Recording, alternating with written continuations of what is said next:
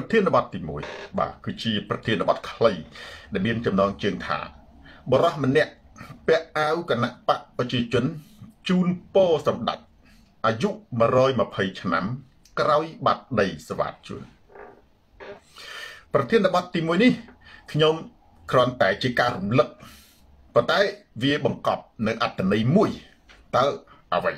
ហ្នឹងប្រធានបទទី2ហ៊ុនសែន ថាសង្គ្រោះជាតិប៉ុនប៉ងបំផ្លាញការបោះឆ្នោតនៅឆ្នាំក្រោយ គឺជាសារភ័យនិងដាស់តឿនប្រិយមិត្តនេះគឺជានៃប្រធានបទទាំងពីរដែលបន្តិចទៀតនេះយើងនឹងលើកយកមកបញ្ជាក់តាមពិត នៅប្រធានបទទី2ប្រហែលជារៀងវែងជាង ប្រធានបទទី1ឬក៏អាចជាប្រធានបទអមរៀមគេបាទហេតុអីបានថាអញ្ចឹងវាអាស្រ័យទៅលើបាទនេះស្ថានភាពបើសិនជាប្រធានបទទី1នឹងយើងស៊ីពេលអស់អញ្ចឹងអាទី2នឹងសុំពិសិដ្ឋវាទៅជាអមទៅអញ្ចឹងប្រិយមិត្ត share វីរុសទៅកាន់ប្រិយមិត្តដទៃទៀតទូរទស្សន៍សូនតារាអតុញអតាក់ស្រាតខោជន់ផ្ដាច់ការផ្លាស់ប្ដូរផ្នត់កណិតទេពបុត្រមុខស្រស់និង New Hood ថ្ងៃនេះមានគ្រឿងក្លែង2ទី1ជាចំណាប់អារម្មណ៍របស់ខ្ញុំជារីសេមទី2គឺជាប្រតិកម្មនៃមហាជនទូទៅកាលពីម្សិលមិញហើយសូមយោបល់និងសូមការប្រតិកម្មពីខ្ញុំផងដែរចិត្តជលសាទី1បងប្អូនថ្ងៃនេះ បើនិយាយអំពីប្រតិកម្មរបស់ខ្ញុំខ្ញុំគ្រាន់តែចង់ចែករំលែកនៅអារម្មណ៍មួយ ដែលអាចនិយាយថាបង្កប់នៅទស្សនវិជ្ជាមួយ បងប្អូនធ្លាប់មើលរឿងរៀមកេទេនិយាយសួរដូច្នេះសូមនិតកម្ពុជាព្រោះសម្រាប់បងប្អូនដែលរៀនបាក់ឌុកទោះជាដល់ថ្នាក់ទី10ប្រឡងជាប់បាក់ឌុកក្តីមិនជាប់បាក់ឌុកក្តី រដ្ឋីសៀនឲ្យតែដល់ថ្នាក់ទី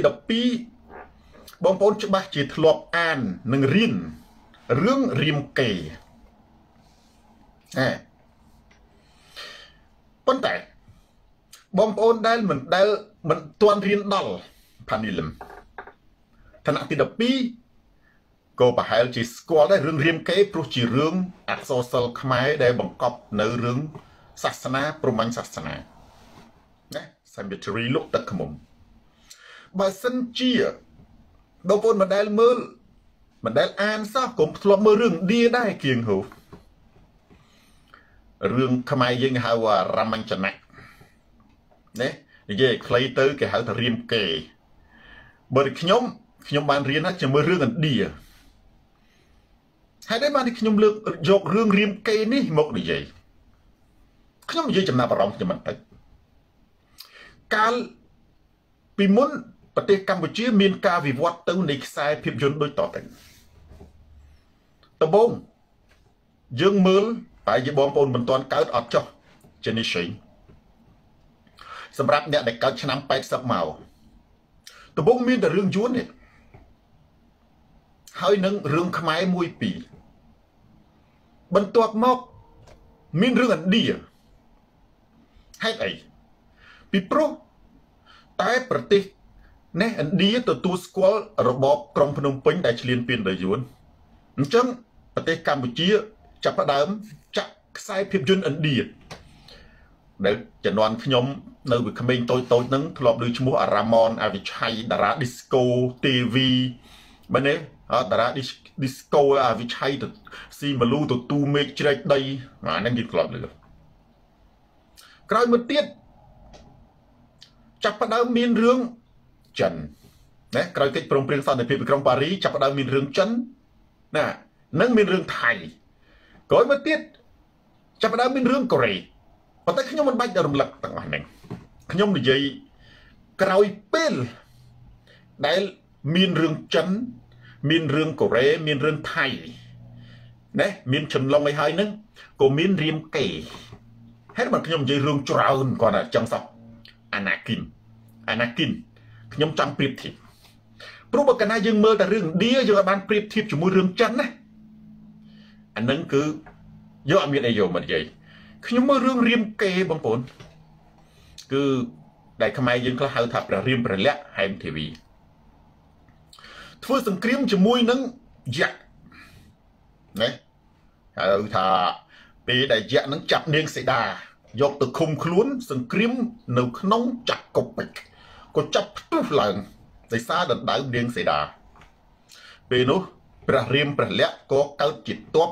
ដែលមានទ័ពស្វាហនុមានហើយបច្ចុប្បន្នហនុមាននឹងទៅជានិមិត្តរូបនៃកងយុទ្ធពលខេមរៈភូមិន្ទ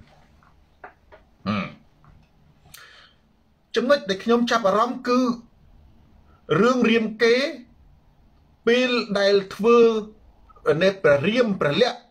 ធ្វើសង្គ្រាមជាមួយយក្សគឺគេថ្លែងធ្នូខ្មែរយើងហៅថាថ្លែងសសូដាឧត្តមពេលនោះខាងរៀមកេឲ្យខាងព្រះរាមពលៈទៅមកខាង ខាងយៈគេមានមេតបលើកមកមកខាង ហើយគេធ្វើសង្គ្រាមបាញ់ធ្នូដាក់គ្នាស៊ីម៉ារ៉ូឌីអ ធ្នូនឹងក៏ថ្លែងហោះទៅលើស្ទុយទៅយៈថ្លែងមកព្រាមថ្លែងទៅបុកគ្នាផ្ទុះនៅលើអាកាសមួយមានធ្នូខ្លះទៀតយៈបាញ់មកបែងភាកទៅជា10ធ្នូណាព្រាមថ្លែងធ្នូមួយទៀតបាញ់ទៅប៉ះក៏ខ្ទេចអាធ្នូនឹងទៅថ្លែងសមានពេលខ្លះយៈវាថ្លែងធ្នូនឹងទៅ វាទៅជាក្បាលមនុស្សខ្មែរកណ្ដាលទឹកដីចុងក្រោយព្រាមឬក៏ពលៈក៏ថ្លែងធ្នូនឹងទៅ ពេលដែលធ្នូនៅក្នុងរឿងរៀមគេណាថ្លែងសទៅធ្នូណាដែលអន់កែវមณีពៅគឺទប់អាធ្នូនឹងអត់ជាប់ដូចជាយៈអីហ្នឹងគឺអាធ្នូខ្លះវាคล้ายទៅជាកងចាក់កាត់ក្បាលយៈប៉ះឬក៏បាញ់ចំកដៅក្បាលតែម្ដង ខ្ញុំនិយាយពីអស់សំណោចបងប្អូនខ្ញុំថាវាមិនដែលអាណាខ្ញុំធ្លាប់ពេលហ្នឹងមានឈិនឡុងមានលីសឡុងមានខ្ញុំថាងាប់មានរឿងសង្គ្រាមលោកគេបាញ់ខ្ញុំថាងាប់ហើយអាណាទៅបាញ់គ្នាចុយមិនដែលឃើញវិញ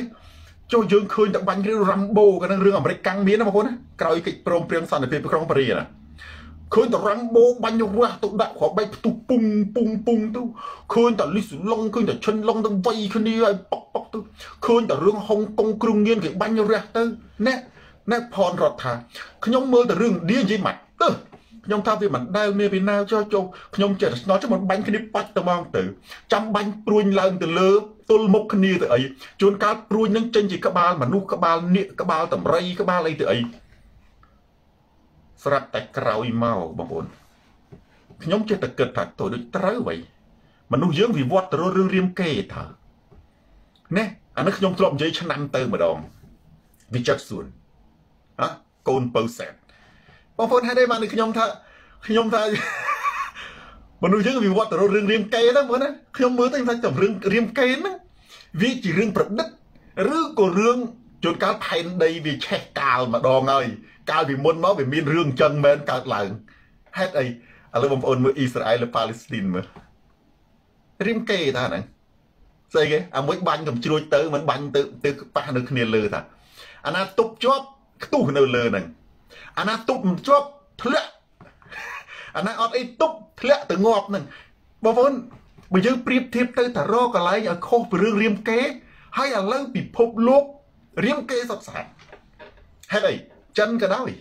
អាមេរិកក៏ដោយបារាំងក៏ដោយតៃវ៉ាន់ក៏ដោយកូរ៉េខាងជើងក៏ដោយបងប្អូនសាកមើលមើលឥឡូវណា សង្គ្រាមបាញ់គ្នាតបស្វាបើយើងចេះតែមើលពីមុនណាតបស្វាយតបយៈហ្នឹងជើងក្រោយឯងតលអាព្រួញនឹងវាដាក់គ្នាឆ្អែតអាព្រួញបាញ់ព្រួញហ្នឹងដូចរកកែតអាមីស៊ីលណាមីស៊ីលនឹងឯងទៅបាញ់គ្នាឆ្អែតហើយបានកងតបយៈក ងទ័ពស្វានេះភិក្ខុឆែមជើងលីទៅលេងថ្មើជើងតាមក្រោយនិយាយពីខ្ញុំពីតូចខ្ញុំថាវាមិនដែលបើចាំបាញ់ចាំបាញ់ទៅលើទៅអីហើយមិនក៏មិនទៅបាញ់ទៅដូចរឿងរ៉ាំបូយតែម្ដងទៅស្រាប់តែពេលឃើញឥឡូវនេះបងប្អូន ថាសង្គ្រាមពិភពលោកបច្ចុប្បន្នសង្គ្រាមរៀមកេសុតសាតរៀមកេសុតសាតបងប្អូនភ្នំដាអ្នកណាយកអីមកចំទាស់ជាមួយខ្ញុំខ្ញុំថាចំតិចប៉ិតទៀតរៀមកេនឹងឥឡូវវាប៉ិតបាត់ហើយបងប្អូន បងប្អូននៅអ៊ីស្រាអែលប៉ាឡេស្ទីនបាញ់មិនមិនរៀមកេមិនបាញ់កំជ្រួយទៅទល់គ្នាអាទប់ជាប់ផ្ទុះនៅលើទៅអាណាទប់មិនជាប់ធ្លាក់មកចឹងទៅខ្ទេចវាដូចតែរឿងរៀនកេបែបហេតុអីបាននិយាយចេះបងប្អូនយើងទាញឲ្យឆ្ងាយបន្តិចយើងមើលរឿងទេវកថារឿងព្រេងនៅក្នុងសាសនាក៏ដោយរឿងទេវកថាក៏ដោយបាទណាភាពអំណាចរបស់អតិទេពនៅក្នុងព្រហ្មញ្ញសាសនា គឺដោយសារអាវុធសូម្បីរឿងចិនក៏ដោយអ៊ូខុងអំណាចរបស់អ៊ូខុងគឺដបងអ៊ូខុងដកថាដបងនឹងចេញចប់បាត់រដ្ឋាអ៊ីនចិនស៊ូលីនចិនមែនទេអូទេវតាខ្លះខ្លាំងនឹងអាស្បោងស្រូបដកតាអាស្បោងនឹងចេញចប់មានន័យថាម៉េចមានន័យថានេះអតិទេពនៅក្នុងរឿងព្រេងកថាចិនក៏ដោយរឿងព្រេងកថាណាក៏ដោយនេះគេហៅទេវកថាណា វាអត់ខ្លាំងទៅលើចំនួននេះសំណានស្រីវាខ្លាំងទៅលើអ្នកនោះមានយុទ្ធសិលខ្លាំងហើយយុទ្ធសិលហ្នឹងគឺវត្ថុទឹកវត្ថុទឹកគឺអាវុធនឹងឯងអ្នកណាដែលយកបានវត្ថុទឹកអ្នកណាដែលមានអាវុធខ្លាំងក្លាទោះជាម្នាក់ក៏ដោយកំចាត់កងទ័ពទេវតាមួយមេឃដូចគ្នាឥឡូវយើងមើលតែអ៊ីស្រាអែលណាពី50ពី60ទៅ70ឆ្នាំមុន មានតែ40 65ម៉ឺននាក់ បើនិយាយទៅប្រជាជនប្រហែលជាងកន្លះលាន65ម៉ឺនជាងកន្លះលានបាទនេះប៉ុន្តែវាដោយសារអាវុធដោយសារវត្ថុទឹក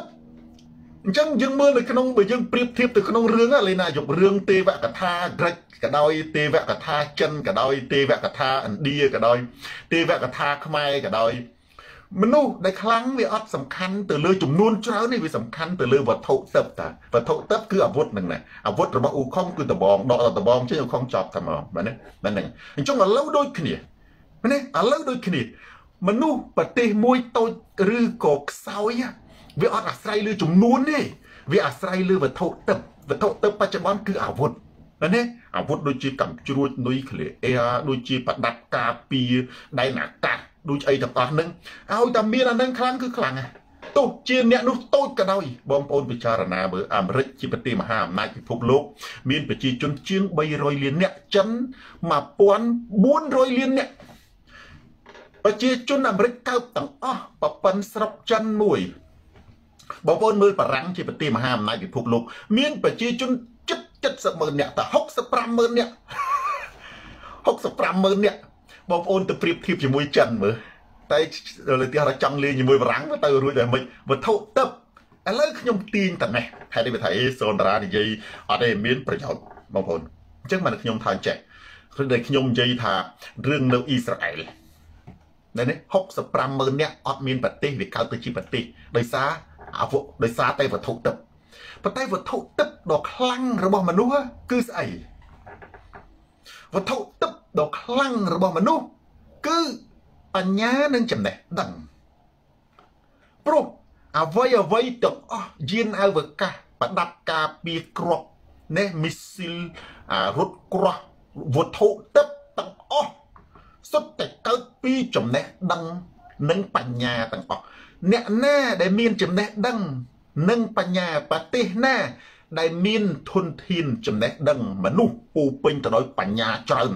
ប្រទេសនឹងខ្លាំងហើយប្រទេសណាដែលពូពេញទៅដោយអំណោយណាហើយនឹងឌីជេងប្រទេសដែលពូពេញទៅដោយអ្នកសុំទានលើកដៃថ្វាយបង្គំតែងតាំងមេដឹកនាំជាព្រះប្រទេសនឹងធ្លាក់នរកគូទុនខ្សោយហ្មងអញ្ចឹងអាកន្លែងនេះខ្ញុំចង់និយាយថាចេះប្រិយមិត្តការដឹកនាំប្រទេសមួយណា នៅពេលណា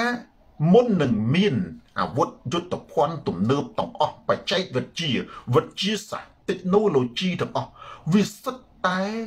មានអាវុធទឹកមុនគេគឺខួរក្បាល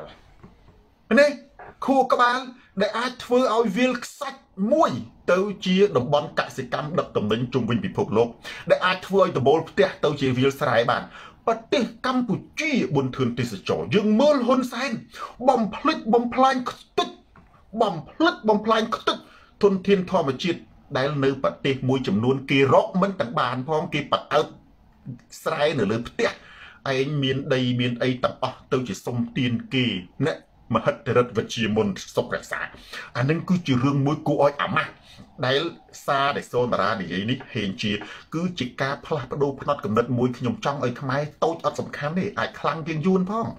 តូចអត់សំខាន់ទេអាចខ្លាំងជាងថៃផងតូចអត់សំខាន់ទេសំខាន់ត្រូវបណ្ដុះវត្ថុទឹក គឺចំណេះដឹងនិងបញ្ញាអញ្ចឹងបានជាខ្ញុំធ្លាប់ឆ្លើយរឿងបងប្អូនគេយកគ្រឿងទ្រឹស្ដីគេថាចំណេះដឹងមានតែ1%ទេ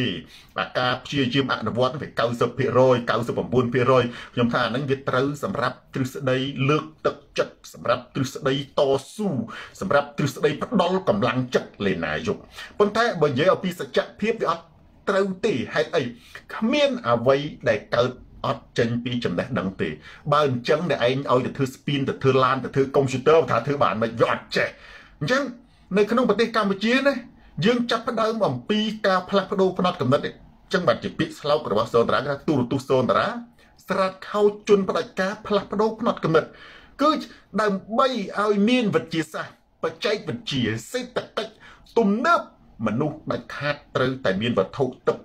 ទី1អានឹងវត្ថុទឹកទី2ទេវត្ថុទឹកទី1គឺបញ្ញានិងចំណេះដឹងប្រិយមិត្ត share វរុទ្ធកាន់ប្រិយមិត្តដទៃទៀតទូរទស្សន៍សូនតារាស្រាតខោជន់បដិការផ្លាស់ប្ដូរផ្នត់កំណត់ឥឡូវហងយុត្តិធម៌ចូលដល់គ្រឿងក្លែមទី2រឿងហ៊ុនសែនបង្រៀនមនុស្សឲ្យមានសិលធម៌យុត្តិធម៌និងគុណធម៌ណា ត្រូវបានសារព័ត៌មានជាច្រើនលើកយកមកស្កោតសរសើរជាពិសេសសារព័ត៌មានរបស់គណៈបកប្រជាជនផ្ទុយមកវិញចាក់ផ្សេងក៏មានបងប្អូនមួយចំនួនច្រើនណែលវ៉ាន់ណែលសិនលើកយកសាររបស់ហ៊ុនសែនមកសោចចំអកហេតុអីរឿងហ៊ុនសែនគាត់និយាយរឿងសិលធម៌អសិលធម៌ជារឿងធម្មតា ណាសម្រាប់គណៈបកប្រជាជនប៉ុន្តែគេសោចចំអកចន្ទរាដោយសារតែពាក្យរបស់ហ៊ុនសែនដែលច្រើនតែប្រើ គឺហែងអញអាគុកអាចវៈមីងែងណារន្ទះបាញ់ឡានឡានបុក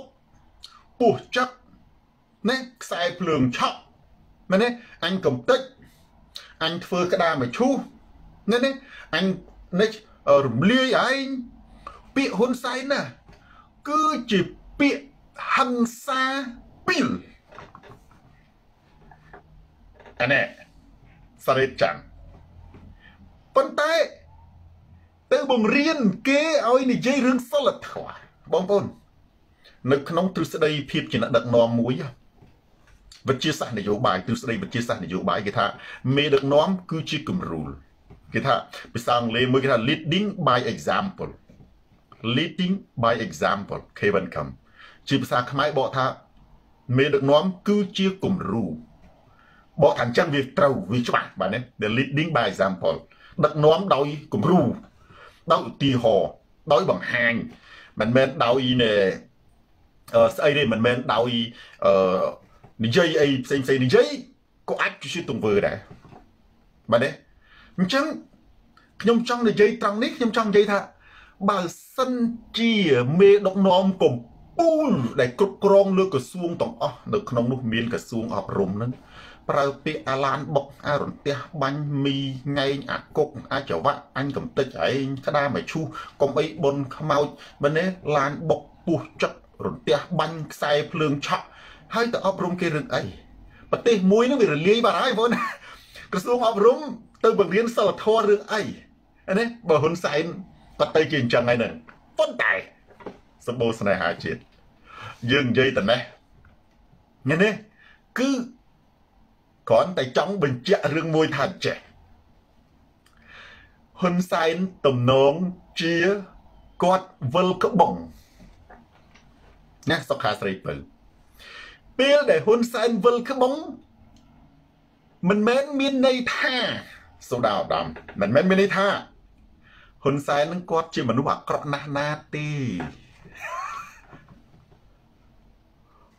ហ៊ុនសែនក៏គាត់មានភាពល្អនៅក្នុងនឹងដែរប៉ុន្តែនៅពេលដែលគាត់វិលក្បងគាត់វិញម្ដងម្ដងមែនទេគាត់ចាញ់ចិត្តសាស្ត្រគាត់ចាញ់ប្រាជ្ញារបស់គូប្រកួតដូចតែសំរងស៊ី គឺធ្វើឲ្យហ៊ុនសែនคล้ายទៅជាមនុស្សឈួតវិកលចរិតម្ដងមកកាលបងប្អូនខ្ញុំសរសើរសំរងស៊ីត្រង់ថាគ្រប់កលៈទេសៈគ្រប់កលៈទេសៈណាស្ថិតនៅនឹងតកលល្អណាស់ហ៊ុនសែនណាម្ដងបកាច់ម្ដងជារៅវិនីស៊ីសវត្តអញ្ចឹងខ្ញុំនិយាយនេះ និយាយបែបវិទ្យាសាស្ត្រមើលណាបើកាលណាសូនតានិយាយយើងបែងចែកច្បាស់រវាងស្រាត់ខោរវាងវិទ្យាសាស្ត្រវិទ្យាសាស្ត្រមានន័យថាពិតសច្ចធម៌សច្ចធម៌យើងអាចនិយាយទៅចេះហ៊ុនសែនគាត់មិនមែនគាត់មានភាពល្អនៅក្នុងនឹងគាត់មិនមែនបើអត់គាត់អត់មានភាពល្អក៏អត់មានអ្នកគ្រប់គ្រងគាត់ខ្លះដែរមែនទេគាត់ណាគាត់លាក់គាត់ចេះសម្ដែងអាលាក់បាំងភាពអាក្រក់របស់គាត់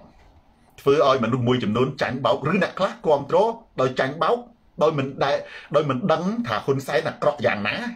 ដោយគ្មានការប្រៀបធៀបភាកច្រើនហើយមនុស្សមានការពិចារណាដកចេញហ៊ុនសែនក៏ប៉ុន្តែក៏មានអ្នកខ្លះបដូរបដាច់ការពារគ្រប់គ្រងហ៊ុនសែនដែរទោះជាដឹងយ៉ាងណាក៏ដោយចឹងអានឹងមនុស្សវាមានធិតល្អរបស់វាប៉ុន្តែហេតុបានហ៊ុនសែនកលាប់កាប់ចាក់កលាប់ផ្ងាទ្រុងទុងឆាំងនៅនេះដូចធងសាំងដូចធងសាំងគោទាត់វាដោយសារតែហ៊ុនសែនបើយើងនិយាយទៅ គឺគាត់ចាញ់ប្រាជ្ញាសំរងស៊ីហើយគាត់คล้ายទៅជាមនុស្សឈួតវិកលចរិតម្ដងមកកាលសូម្បីតែខ្លួនគាត់ក៏គាត់សារភាពដែរគាត់ធ្លាប់សារភាពតែគាត់និយាយផ្ទាល់គាត់ថាសូម្បីតែខ្ញុំកាសីគុំណាក៏វិកលចរិតម្ដងមកកាលដែរប៉ុន្តែប្រធានបទទី1យើងឈានចូលទៅដល់ប្រធានបទទី1តែម្ដងរឿងដីធ្លីអ្នក បូរីបូរ៉ាផ្លេរីប៉ុន្តែមុននឹងឈានចូលទៅដល់ប្រធានបទទី1នេះយើងភ្ជាប់មានន័យថាប្រធានបទជាទូទៅគ្រឿងខ្លែងខ្ញុំតែតែភ្ជាប់ហើយខ្ញុំបានរកគ្រឿងខ្លែងដែលផ្ទុយពីប្រធានបទវាទាញចូលគ្នាតែម្ដងប៉ុន្តែចាំថាចាំថាបើយើងនិយាយអំពីសិលធម៌តើយកអីមកវាស់បងប្អូននៅលើផែនដីយើងនៅលើចក្រវាលនេះមានរបស់ពីរយ៉ាង គឺអានន្តមានន័យថា ដកអានន្តបូកអានន្តគុណក៏ដូចគ្នាស្អីក៏ដោយវាមានផ្ទុយវាមានដកអានន្តបូកអានន្តមានន័យថាម៉េចមានន័យថានៅចន្លោះដកអានន្តបូកអានន្តវាមានដែនកំណត់របស់វាអាដែនកំណត់ហ្នឹងហើយជារង្វាស់អាដែនកំណត់ហ្នឹងគេហៅថាជារង្វាស់កុំឲ្យជាថាបាតណាបាតណីឧទាហរណ៍គេនិយាយថា អ្នកនោះជាមនុស្សមានសិល តើគេយកអីមកវាស់បើសិនជានិយាយថាសិលមួយម៉ាត់សិលធម៌មួយម៉ាត់វាដឹងស្អីគេវាទលំទលាយពេកនៅក្នុងព្រះពុទ្ធសាសនាគេយកអីមកវាស់សិល5បើគេនិយាយថាមនុស្សនឹងល្អមនុស្សនឹងមានសិលធម៌មនុស្សនឹងមានគុណធម៌គឺគេសំដៅទៅលើមនុស្សដែលមានសិល5នឹងឯងទោះបានប្រមាណភាគរយក៏ដោយផាន់សុខមនេះបាទនេះវាមានតិចក៏ដោយច្រើនក៏ដោយ ឥឡូវយើងត្រឡប់មើលសិល5យើងប្រៀបធៀបហ៊ុនសែននិងសំរងស៊ីសំស៊ីគាត់មិនឥតខ្ចោះដែរបាទនេះហាប៉ុន្តែបើប្រៀបជាមួយហ៊ុនសែនរវាងដើម្បីនិយាយថាហ៊ុនសែននឹងមានសិលធម៌តើតែយកអីមកវាស់ឥឡូវយើងយកសិល5មកវាស់មិនសិលធម៌មិនសិល5អ្នកដែលមានសិលធម៌អ្នកដែលមិនសម្លាប់មិនយ៉ាងបើឥឡូវយើងនិយាយមិនសម្លាប់សំរងស៊ីតើសំរងស៊ីមានតែសម្លាប់ សัตว์មកមួយទេអត់អាលីងអានឹងសូនប្រាអត់ដូចគ្នាខ្ញុំអត់ទេបាទសម្រាប់សัตว์អត់ទេប្រកាន់គោលចំហណាឥឡូវយើងមើលហ៊ុនសែនយោងតាមទស្សនាវដ្តីបារាំងយោងតាមសារព័ត៌មានអន្តរជាតិយោងតាមព្រឹត្តិការណ៍នេះកន្លងមកដូចជាយើងមើលព្រឹត្តិការណ៍គប់ក្របបែកមុខរដ្ឋសភា ដែលគេថាអង្គរៈហ៊ុនសែនជាអ្នកសម្លាប់អានឹងមិនហ៊ុនសែនបញ្ជាសម្លាប់មនុស្សនៅទីក្រុងភ្នំពេញមែនទេគប់សម្លាប់សំរងស៊ីគប់ក្របបែកយើងបន្តទៀតថ្ងៃ5ថ្ងៃ6កក្កដា គេហៅក្មេងវត្តទាត់ក្មេងវាំងដាក់មកក្រាំងអស់ឃ្លាំងម៉ូតូ20មានអ្នកចងកស្លាប់ច្រើនណាស់ថ្ងៃ5ថ្ងៃ6ហើយមានកងទ័ពណាហែមធីវីចូលមកយកជ័យយុភ័ណ្ឌអ្នកខ្លះប្លន់ឡានអ្នកខ្លះប្លន់ម៉ូតូអ្នកខ្លះកោបយកទូរទស្សន៍អ្នកក្រុងភ្នំពេញក្រមួយថ្ងៃ5ថ្ងៃ6នឹងមិនតិចទេដោយសារតែទាហានចូលមកច្បាំងហើយកោបយកទ្រព្យទៅវិញមានអ្នកចងកងាប់មិនតិចទេអាលីសានេះបើនិយាយរួម រួមនឹងមនុស្សស្លាប់ច្រើនណាស់សម្រាប់ហាបន្ទាប់ឥឡូវយើងថាដោយសារចំនួននោះ វាគឺជាការច្បាំងគ្នា ជាធម្មតាច្បាំងគ្នា បើហ្វុនស៊ិនពេជ្រមិនសម្រាប់ដែលហ៊ុនសែនហ៊ុនសែនសម្រាប់ហ្វុនស៊ិនពេជ្រមិនវាយើងថាអានឹងជារឿងបើខ្ញុំខ្ញុំថាវាជាបត់អក្រិតកន្លែងហ្នឹងប៉ុន្តែខ្ញុំថាបោសទស្សនៈរបស់ខ្ញុំខ្ញុំថាមិនធ្ងន់ធ្ងរមិនព្រោះសង្គ្រាមសង្គ្រាមឯងបាញ់គេគេបាញ់ឯង អត់អាចថាឯងបាញ់គេឯងទៅស្រោចប្រាវចឹងទៅស្រាប់តែគេដាក់វិញទៅលូអត់ទេត្រូវដែរមែនទេកាលនោះខ្ញុំយុវជនគណៈបព្វជិជននេះខ្ញុំកាន់ជើងគណៈបព្វជិជនកាលនោះកាលឆ្នាំនៅអឺនេះ98ប៉ុន្តែវាត្រូវដែរបងប្អូនណាប៉ុន្តែរឿងខុសគប់ក្របែកសម្រាប់សំរងស៊ីអ៊ីរ៉ែនគុំអាហ្នឹងខុសមកពសំស៊ីគាត់មិនមែន កងកម្លាំងប្រដាប់អាវុធគាត់មិនមែនអគ្គមេវិសហអគ្គមេវិជាការណាព្រោះកាលនោះគណៈបកប្រជាជននិងគណៈបកហ្វុនពេជ្រមានមេបញ្ជាការពីរគឺញឹកប៊ុនឆៃហើយនិងនៅកៃកំយ៉ានណាហានៅក្នុងក្រសួងមហាផ្ទៃក៏មានដូចគ្នាដែរមានមានពីរទឹមគ្នារួចប៉ុណ្ណឹងរដ្ឋមន្ត្រីមានមួយមួយប៉ុន្តែអាកន្លែងកាន់ទ័ពសិតតែមានពីរអមគ្នាហើយភ្ជុងអាវុធដាក់គ្នាសេរីកុសលមួយថ្ងៃមួយថ្ងៃអួតតែរឿងអមរះ អេអួតតែរឿងស្អីណានោះនឹងអមរះអីចឹងហ៎បាទបាទហើយអួតដាក់គ្នាប៉ុស្តិ៍លេខ9មួយនឹងប៉ុស្តិ៍លេខ9អួតរឿងវាយបានតែអួតហ៊ុនសែនក៏មិនអួតដូចគាត់ហ៊ុនសែនក៏បាយយកហ្មងហ្នឹងគាត់បាយចាប់អួតនេះច្រើនក៏រៀបចំផែនការកវិកវៈកវិកវៈឯងតើឲ្យក្អកក្អកវុះវុះវុះវុះហ៊ុនសែនលេងតបកៅពកពីកំពង់ស្ពឺមកកាត់ផ្លូវជាលេខ4កោបយកទាំងអស់ក្រុងភ្នំពេញណែអាហ្នឹងណាបើយើងនិយាយទៅគឺថា វាបើកាលណាច្បាំងគ្នាអាហ្នឹងវាសម្លាប់គ្នាជារឿងធម្មតាបើចំពោះខ្ញុំខ្ញុំថាច្បាំងគ្នាវាត្រូវវាសម្លាប់គ្នាចឹងត្រូវបត់ឈប់បាញ់ចុះបើឯងទៅបាញ់គេគេមិនបាញ់ឯងឥឡូវយើងពិចារណាមើលមិនគេហៅសង្គ្រាមចឹងបានគេកិច្ចអាសង្គ្រាមហ្នឹងណាបាទនេះអញ្ចឹងអារឿងហ្នឹងខ្ញុំថាមួយប៉ុន្តែរឿងលួនសែនខុសអីគេដែលអាចដែលអាចចាត់ថាជាឃាតករ ដែលចាត់ជាសម្លាប់បើយោងតាមបណ្ដាញសារព័ត៌មានបើយោងតាមអ្នកវិភាគបើយោងតាមភ័ស្តុតាងអន្តរជាតិមួយចំនួនអង្គការសិទ្ធិមនុស្សអីមួយចំនួនហ្នឹងគឺគប់ក្របីសម្រាប់សំស៊ីណាដារ៉ូរិកសនហ្នឹងខុសមួយទី2គឺនេះសម្រាប់បាតកោឆ្នាំ98កូននេះអាហ្នឹងពីរខុសអាហ្នឹងខុសហ៎ទី3គឺដើរសម្រាប់សកម្មជនគណៈបកសំរងស៊ីទូទាំងប្រទេសអាហ្នឹងខុសទី4គឺសម្រាប់អ្នកកសែតម្នាក់សិកានិពន្ធនយោកសែត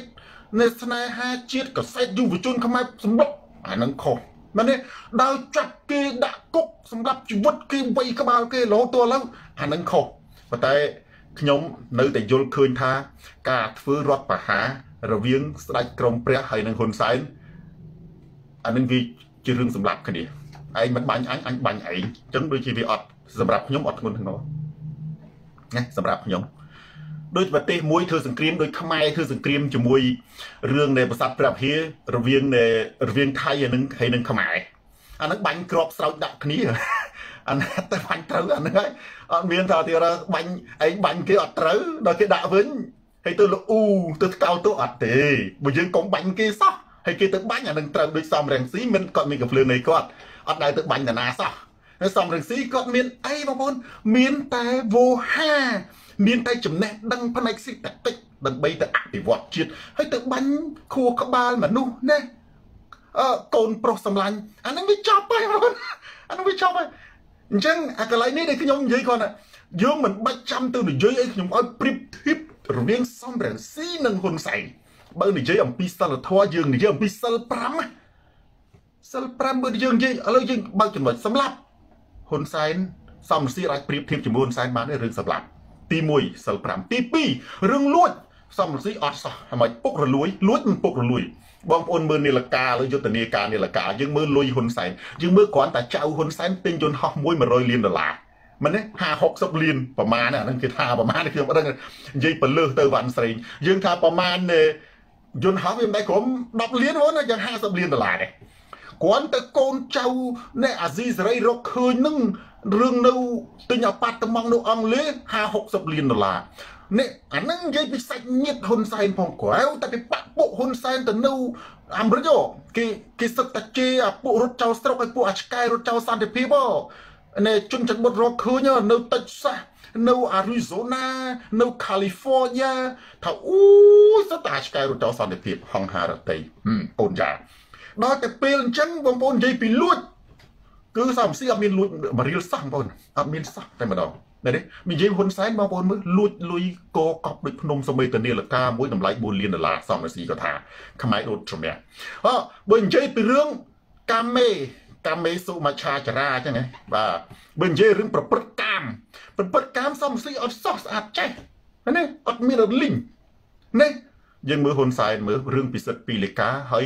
រឿងជួបខំអានឹងយើងដឹងចុះអត់ដឹងមិនដឹងជាតារាភាពយន្តណាខ្លះត្រូវឆ្លងកាត់ហ៊ុនសែនយើងអត់ដឹងទេ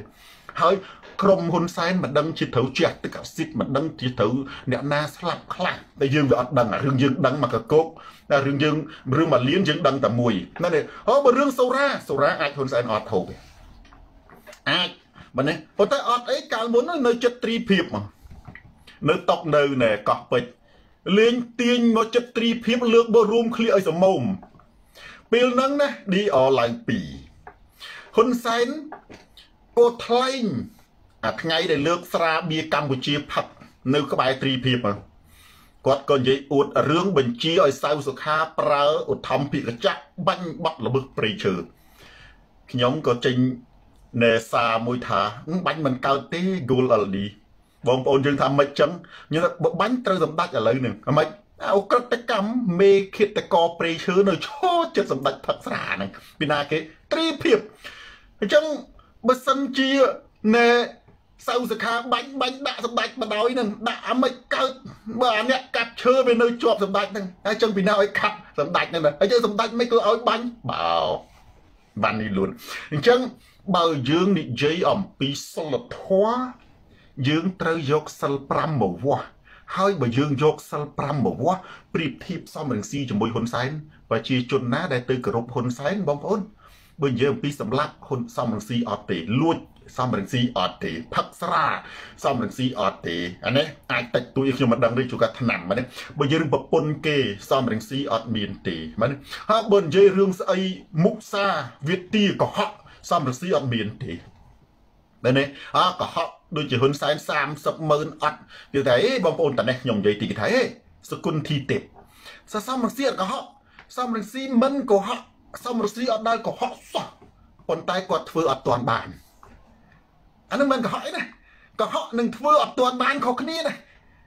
ឧទាហរណ៍ទៅបងប្អូនចង់ខ្លាយទៅជាមហាសេដ្ឋី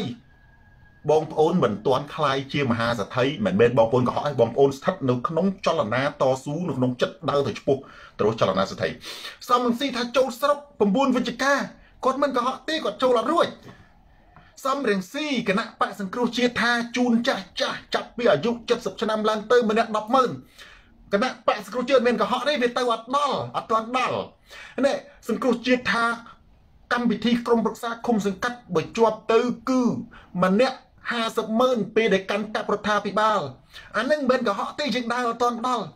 ដូចដែលគេឡើងឋានប្រចាំមិនមែនអ្នកដែលឡើងមិនទាន់ដល់ចំនួនមុនមុនហ្នឹងដែលស្លាប់បាត់បង់ជីវិតគាត់កុហកទេយើងត្រូវអរគុណគាត់តាណាអ្នកហើយអ្នកថ្មីសម្រាប់គោលដៅឲ្យអ្នកដែលបានស្លាប់បាត់ទៅឡើងឋានប្រចាំហ្នឹងមែនទេនៅក្នុងនយោបាយសំរងស៊ីអត់ដែលកុហកសោះគ្រាន់តែគាត់ដើរអត់ទាន់ដល់ដោយសារ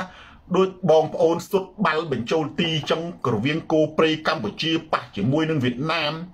កម្ពុជាយើងសុទ្ធអត់ចូលវៀតណាមមិនមែនកម្ពុជាកុហកមិនមែនគោព្រៃកម្ពុជាកុហកទេសុទ្ធវាអត់ចូល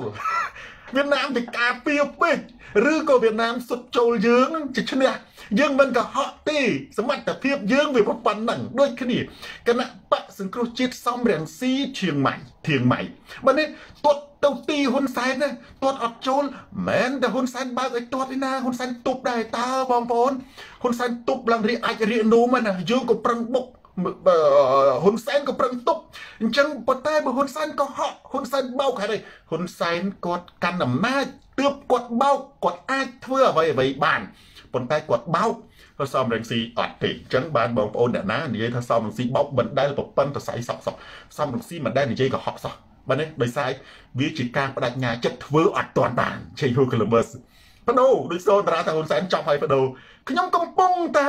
ដូចបងប្អូនចង់ខ្លាយទៅជាអ្នកមានបងប្អូនមានតែបងប្អូនកំពុងតែប្រឹងក៏វាមិនទាន់មានខ្ញុំថាហ៊ុនសែនចប់ហើយបដូរខ្ញុំកំពុងតែប្រឹងតែវាមិនទាន់ដល់គោលដៅនឹងដល់គោលដៅថ្ងៃណាមួយអមិនក៏ថាខ្ញុំបោកវាតតែខ្ញុំឈប់ ហើយទៅបង្កើតគណៈបកណាអីចឹងទៅ ហើយទៅថ្វាយបង្គំហ៊ុនសែនទៅចុះចូលគណៈបកប្រជាជនសុំតំណែងសុំបុណ្យស័ក្តិដើម្បីរកស៊ីអានឹងបោកមែនបើហ៊ុនសម្រាប់មានបោកឯណានៅដដែលនឹងហ៊ុនសែនចប់បដូរហ៊ុនសែនចប់បដូរសម្ដេចលឺចឹងនៅវិលក្បងហ៊ុនសែនក៏លឺហ៊ុនសែនចប់ហើយបដូរនឹងមួយថ្ងៃមួយថ្ងៃនឹងទិញរោគថ្នាំក៏ណាអានអត្តបទមកហ៊ុនសែនចប់ហើយបដូរថ្នាំឲ្យអញបាទអញ្ចឹងទៅសូមទោសប្រិយមិត្តបាទ បាទហ៊ុនសែនចប់ហើយបដូរហ៊ុនសែនចប់បដូរនឹងចឹងទៅសំទុះណាឥឡូវយើងទាញតែនេះតែម្ដងអានឹងដូចខ្ញុំនិយាយមិញហ្នឹងវាឆ្លងចូលប្រធានបទទី1គឺជាប្រធានប្រធានបទទី1តែម្ដងឥឡូវយើងទាញបន្ទាប់មកទៀតនៅក្នុងប្រធានបទទី1នេះតារាមេងសំណាងមានសំណាងថ្ងៃនេះបុរសម្នាក់ពាក់អាវគណៈបកប្រជាជន ពាក់មួកគណៈបកប្រជាជន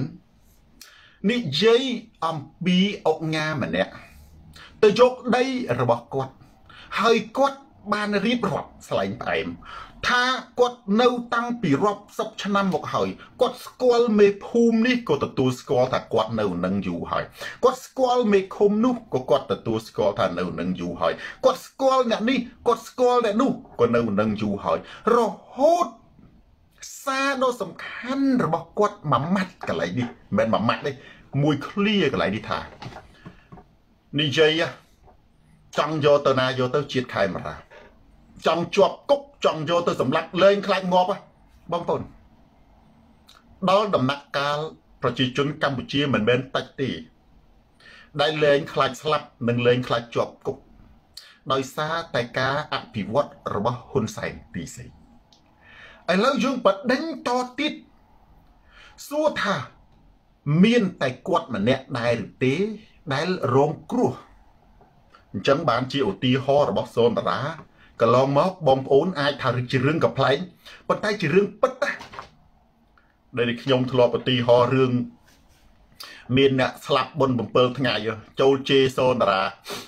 ជេជេជេហ្នឹងណាកុំច្រឡំណានៅកម្ពុជាពួកគ្រឿងញៀនវាអត់លើកលែងវាអត់ស្គាល់តែនឹងជេសូនតារាអញលើកអត់អោនឲ្យទេណាបើវាត្រូវប្លន់ប្លន់ណាណា រឿងខ្លះវាពិតប៉ុន្តែបងប្អូនគិតថាគិតថាអានេះស៊ូមជឿនគិតថាអានេះរឿងសោកមិនមែនសោកទេបងប្អូនរឿងពិត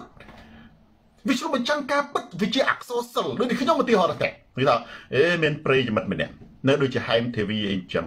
ខ្ញុំនិយាយអំពីគ្រឿងញៀនគ្រោះថ្នាក់នៅក្នុងប្រទេសកម្ពុជាជួនកាលវាប្លន់ជួនកាលវាកាប់ជួនកាលវាសម្លាប់ជួនកាលសម្លាប់ចំហែមធីវីហើយគាត់ស្លាប់បាត់ទៅគាត់មានដឹងខ្លួនឯណាស្រាប់តែបុណ្យ7ថ្ងៃក្រោយមកបានក៏ដឹងថាអូអញងាប់បាត់ហើយទីចន្ទរារាមាអ៊ីសាន Enterprise ហើយដល់ចឹងហ្មងទៅដល់ចឹងអញលឺលោកគ្រូសនរានឹងនិយាយមួយថ្ងៃមួយថ្ងៃហ្នឹងខំអស់លុយទូរស័ព្ទថ្ងៃហ្នឹងឲ្យកូនទៅទិញបញ្ចូលណែដាក់ទូរស័ព្ទដើម្បីចូលជេសនរាឥឡូវនេះវាកើតប៉ះចំគ្រូសាអញហើយគេយកដីអញបាត់បានទេខណ្ឌវិថីឥឡូវនេះចៅគ្រឿងញៀនណាវាប្លន់អញងាប់បាត់ហងសវណ្ណរីអញ្ចឹងបានជាលោកដៃក៏មកទោះថាលោកគ្រូអើយកាលពីនៅរស់មិនបានសងគុណគ្រូ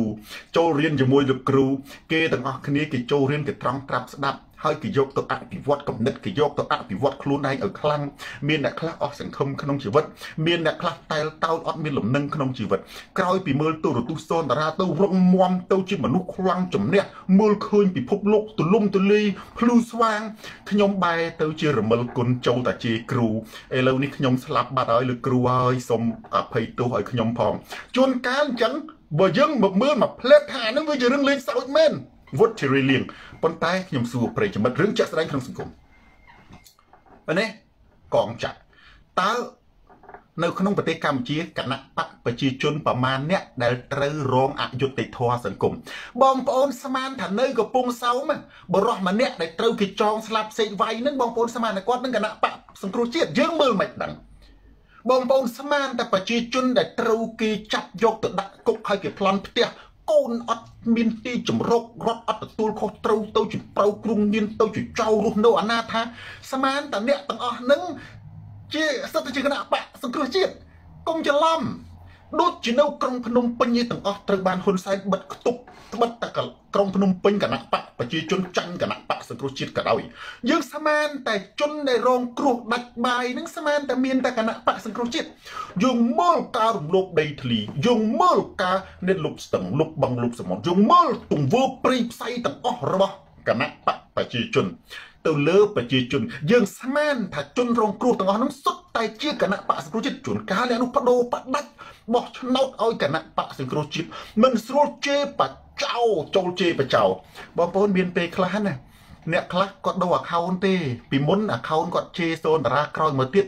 ពេលដែលគាត់ស្ដាប់សូនតារាយូរទៅនឹងគាត់គិតតែពីចូលជេរប៉ុន្តែដល់ទៅពេលស្ដាប់យូរយូរទៅរឿងនោះវាអត់ទាន់ធ្លាក់ដល់ខ្លួនណាសំណាមស្រីស្រាប់តែថ្ងៃណាមួយសុខខាណៃរឿងនោះវាធ្លាក់ដល់ខ្លួននឹងក្រុមគ្រួសារខ្លួនបាត់រំលឹក អាគាត់ចាំទាំងអស់មនុស្សយើងនៅពេលណាដែលអត់មានវិបត្តិណានុតចំខួរក្បាលអត់ចាំទីប៉ុន្តែនៅពេលណាដែលមានវិបត្តិកើតឡើងខួរក្បាលវាស្រូបយករឿងមកទាំងអស់បងប្អូនយករឿងមកទាំងអស់អញ្ចឹងបានថាមានពេលខ្លះអ្នកដែលចូលស្ដាប់ទូរទស្សន៍សនរានឹងក្រោយពេលដែលប៉ះចំសាច់ខ្លួនឯងប៉ះចំពួកម៉ាក់ប៉ះចំក្រុមគ្រួសារខ្លួនឯងម៉ាំងនឹកសម្ដីឃើញនិយាយត្រូវអត់មានខុសតាណាសោះអត់ខុសតាណាសោះអញ្ចឹងបានជាត្រូវធ្វើម៉េច ត្រូវតែដូរ account ដូរឈ្មោះដើម្បីចូលមក share ក្មេងវត្តស្រុកស្រែចូលមកគ្រប់គ្រងវិញអញ្ចឹងបងប្អូនឥឡូវខ្ញុំសួរមើលថាតើជនរងគ្រោះនៅក្នុងប្រទេសកម្ពុជាច្បាស់ទេថាអ្នកនោះមិនបោះឆ្នោតដោយគណៈបព្វជិជនវាច្បាស់ជាមានអ្នកបោះនិងអ្នកមិនបោះសុទ្ធសរិទ្ធស័ក្តិអញ្ចឹងមានន័យថាម៉េចបុកអាយមានន័យថាបងប្អូនរស់នៅក្នុងរបបព្រីផ្សៃអយុត្តិធម៌សង្គម មិនមែនបងប្អូននឹងរួចខ្លួនទេគ្រាន់តែវាមិនទាន់ដល់វេនឲ្យតែវេននោះធ្លាក់មកដល់បងប្អូនម៉ារីបាន គឺបងប្អូនរងគ្រោះជាក់ជាមិនខានដូចបរោះម្នាក់ដែលគាត់ពាក់មួកគាត់ពាក់អាវគណៈបកប្រជាជនគេយកដីគាត់ឥឡូវយើងទាញទៅយកដីណែ និយាយដីទៅនេះខ្ញុំនិយាយពីចំណុចទៅនិយាយពីបរោះម្នាក់ហ្នឹងឲ្យទាញចូលទៅដីពលានយន្តហោះតើអ្នកយកដីគាត់នឹង is enterprise ជានរណាអុកញ៉ាយើងសួរបណ្ដឹងទៀតណាតើអុកញ៉ាជានរណា នៅក្នុងប្រទេសកម្ពុជាអុកញ៉ាមានច្រើនប្រភេទប៉ុន្តែមានធំធំ3ដែលខ្ញុំធ្លាប់និយាយទី1អុកញ៉ាពិតប្រកបអូនសាសាអ្នកនោះមានល្អមានអាក្រក់ មានអ្នកដែលចង់រួចពីនឹមហ៊ុនសែនហ៊ុនសែនគៀបស៊ីច្រើនណាស់អ្នកខ្លះអត់ចង់ធ្វើអុកញ៉ាទេប៉ុន្តែគណៈបកប្រជាជនគេក្តោបក្តាប់សេដ្ឋីគេខ្លាចសេដ្ឋីនឹងទៅនៅបកផ្សេងទៅនៅនេះអ្នកមានទាំងអស់គេត្រូវតែឲ្យចុះជាសមាជិកទៅឲ្យកាន់ក្រុមការងារស្រុកការងារឃុំ ដើម្បីចងអ្នកនឹងកុំឲ្យចាកចេញណាហើយបើអ្នកណាអត់ទៅគ្រប់គ្រងអត់ទៅចូលជាសមាជិកអុកញ៉ាទេ គេអាចប្រើតឡាការធ្វើស៊ីប្លន់យកទ្រព្យសម្បត្តិទាំងអស់នៅក្នុងប្រទេសកម្ពុជា អ្នកដែលរកស៊ីត្រូវតែជាសមាជិកគណៈបកប្រជាជន ចូលចិត្តឬក៏ស្អប់ហ៊ុនសែនដូចអាចក៏ដោយក៏ត្រូវតែជេរយោសម្ដេចដែរដើម្បីរស់ដើម្បីការពារអាជីវកម្មរបស់ខ្លួនអញ្ចឹងអានឹងខ្ញុំប្រភេទអង្គការទី1អង្គការមែនតើវាមានអ្នកល្អវាមានអ្នកអាក្រក់អង្គការទី2គឺជាអង្គការសេះហោះអានឹងគឺស៊ីឈ្នួលធ្វើអង្គការ ណែផលាប៉ាវអុកញ៉ាទី3គឺអុកញ៉ាដែលរស់បញ្ញាក្អែករស់ដោយសារហ៊ុនសែនផ្កាយមាស6អានឹងអុកញ៉ាដែរសមត្ថភាពពិតប្រកបអត់បាននេះប៉ុន្តែសហការប៉ាងសំណាងស្ប៉ាន់សំណាងជាមួយនឹងហ៊ុនសែននឹងផ្កាយមាស6នៅជុំវិញហើយអ្នកទាំងអស់នោះជាឧបករណ៍ មិនសេះហោះទេបើសេះហោះមានន័យថាអ្នកហ្នឹងអត់មានអីទេគេឲ្យតែម្ដងអ្នកនោះមានទ្រពដែរប៉ុន្តែទៅឯងអាហ្នឹងគេហៅថាអុកញ៉ាបញ្ញាក្អែកទេណាវាជាឧបករណ៍របស់ផ្កាយមាស6ហើយនឹងហ៊ុនសែនបើផ្កាយមាស6ហ៊ុនសែនចង់លុបទលេគឺគេអត់ណាចង់យកបឹងកក់សេងដាវីគេអត់យកគេអត់យកណែអឺឈ្មោះហ៊ុនសែនឬក៏ប្រពន្ធហ៊ុនសែនណាឬក៏ផ្កាយមាស6អីផ្សេងផ្សេងណាញងសរឿនទៅប្រើគេប្រើអុកញ៉ាសូនតារា ឧទាហរណ៍គេចង់យកណែបុរីកីឡា Miss Van Vanry គឺគេប្រើឈ្មោះអុកញ៉ាអីចឹងទៅ គេប្រើឈ្មោះសុយសុផាន់អញ្ចឹងទៅគេចង់យកណែអូទលេលុបទលេឲ្យមកចំហៀងនៅព្រឹកលៀបទាំងអស់គេប្រើលីចុងផាត់អីចឹងទៅ គេប្រើឈ្មោះប៉ុន្តែយើងមើល ដល់តែពេលគេទៅយកដីគណៈបកប្រជាជនអកគីដេវាប៉ះចំអីចឹងណាភិតភិតផាន់គឺគេប្រើអុកញ៉ាកអុកញ៉ាខអុកញ៉ាកូសូហ្វីអេនឌីសាន់អញ្ចឹងយើងសរុបសេចក្តីមកសំណួរតើអុកញ៉ាណាដែលមិនមែនជាគ្នាហ៊ុនសែនលើកដៃលើកដៃតើអុកញ៉ាណាដែលមិនមែនជាគ្នាហ៊ុនសែន បើមិនមែនជាគ្នាហ៊ុនសែនមិនគេហៅថាអាញុកបើមិនមែនជាគ្នាហ៊ុនសែនណាមិនគេហៅថាអុកញ៉ាវាតល់តែអ្នកនោះត្រូវបានហ៊ុនសែននឹងចូលជាសមាជិកចាប់ចម្រិតជាគណៈបព្វជិនទោះពេលខ្លះវណ្ដរាអ្នកឯងមិនចង់ខ្លាយជាអុកញ៉ាក៏ដោយប៉ុន្តែបើអ្នកឯងរកស៊ីលូតទ្រព្យសម្បត្តិនៅក្នុងប្រទេសកម្ពុជា គឺគេទៅកេះឲ្យចូលអុកញ៉ាភ្លាមមិន ពីព្រោះទី1នៃអង្គការហ៊ុនសែនគ្រប់គ្រងទ្រព្យសម្បត្តិអ្នកឯងទី2ហ៊ុនសែនប្រើឲ្យអ្នកឯងទៅកាន់ក្រុមការងារឃុំក្រុមការងារស្រុកនៅកំពង់ចាមនៅកំពង់ស្ពឺនៅកដាលព្រៃវែងពីអ្នកឯងកាន់ការងារដែលក្នុងគណៈបច្ចុប្បន្នឯងងាកចេញបានងាកចេញគឺគេធ្វើស៊ីភ្លាមអញ្ចឹងខ្ញុំជម្រាបទៅនៅក្នុងប្រទេសកម្ពុជាណាខ្ញុំប្រាប់តណេះអ្នកដែលពាក់មួកពាក់ផ្លាកគណៈបកប្រជាជន គឺអុកញ៉ាណាក៏ដោយសិតតែជាដៃជើងរបស់ហ៊ុនសែននឹងផ្កាយមាស6ទេអញ្ចឹងបានជាខ្មែរយើងឥឡូវឆ្លាតបងប្អូនត្រង់ណាបុផាច័ន្ទពេលដែលបាតកម្មគេលើកទៅរូបហ៊ុនសែននិងប្រពន្ធហ៊ុនសែនហេតុអីពួកគេដឹងថាពួកអស់នេះអ្នកឯងទេដែលយល់ច្រឡំថាប្រជាជនល្ងីល្ងើពកថ្ងាស់នរាហៀមអ្នកឯងទេ ដែលយល់ថាប្រជាជននឹងឃើញគាត់កក្លិកកក្លាក់ខោមិនខោអាវមិនអាវគាត់ជាអ្នកក្រីក្រកសិករស្លៀកខោរហែកស្បែកជើងចងខ្សែដើមជ័យនិកសូតារាឃើញគេនឹងថាស្មានតែគេនឹងល្ងីល្ងើមិនដឹងថាប្រជាជនដល់ខ្យល់បងប្អូនធម្មតាប្រជាជនពីមុនបាតកម្មគឺថាខឹងចវាយខេតណាបាតកម្មទៅរកចវាយខេតទេបាតកម្មទៅរកតឡាការទេប៉ុន្តែអត់ទេឥឡូវអាសនាបាបាលោកឲ្យតែបាតកម្មលោករូបហ៊ុនសែនប្រពន្ធហ៊ុនសែនរឿងអី ដោយសារប្រជាជនក៏ដឹងច្បាស់ថាអូអាតឡាការនឹងវាគ្មានប្រយោជន៍ទេអូអាចវាយខេតនឹងវាគ្មានប្រយោជន៍ទេអូអាចវាយស្រុកនឹងវាគ្មានប្រយោជន៍ទេអូអាទាំងអស់នឹងវាអត់បានកាយទេអាទាំងអស់នឹងឲ្យតែហ៊ុនសែនឯកភាពក្អកទៅមកហើយអញ្ចឹងបានមនុស្សឲ្យតែជាប់គុករឿងកើបអាចគោដោយកូនបាច់តកម្មទៅទៀមទីហ៊ុនសែនប្រព័ន្ធនៅក្នុងប្រទេសកម្ពុជាស្អុយរលួយស្អីដោយសារប្រព័ន្ធនឹងមែនហ៊ុនសែនបញ្ជាពួកទាំងអស់នឹងតឡាការប្រជាជនដឹងអានិសាលូណាជាហ៊ុនសែនបញ្ជា អុកញ៉ាហ៊ុនសែនបញ្ជារដ្ឋមន្ត្រីហ៊ុនសែនបញ្ជាអាអ្នកទៅទៅយកដីគេសិតតែគ្នារបស់ហ៊ុនសែនប៉ុន្តែដល់ហ៊ុនសែនបែងភាកទៅអត់ឲ្យប្រជាជនឃើញទេប្រជាជននឹងទៅនិយាយរឿងអុកញ៉ានឹងទៅការប៉ັດណាខ្ញុំនិយាយឲ្យខ្លីសុភពឲ្យកាត់ចេះតែម្ដងទៅប្រជាជនកម្ពុជាទូទាំងប្រទេសអ្នកដែលដើរយកដីបងប្អូនគឺហ៊ុនសែននៅផ្កាយមី6និយាយចប់ចេះមិនទៅអុកញ៉ាទាំងអស់នឹងបើអត់មានភ្លើងខៀវពីផ្កាយមី6នៅហ៊ុនសែនតើអាណាក្បាលពីដៃចាស់ ហ៊ានទៅលុបទលេឥឡូវខ្ញុំសួរអតាបតននៅក្នុងនេះ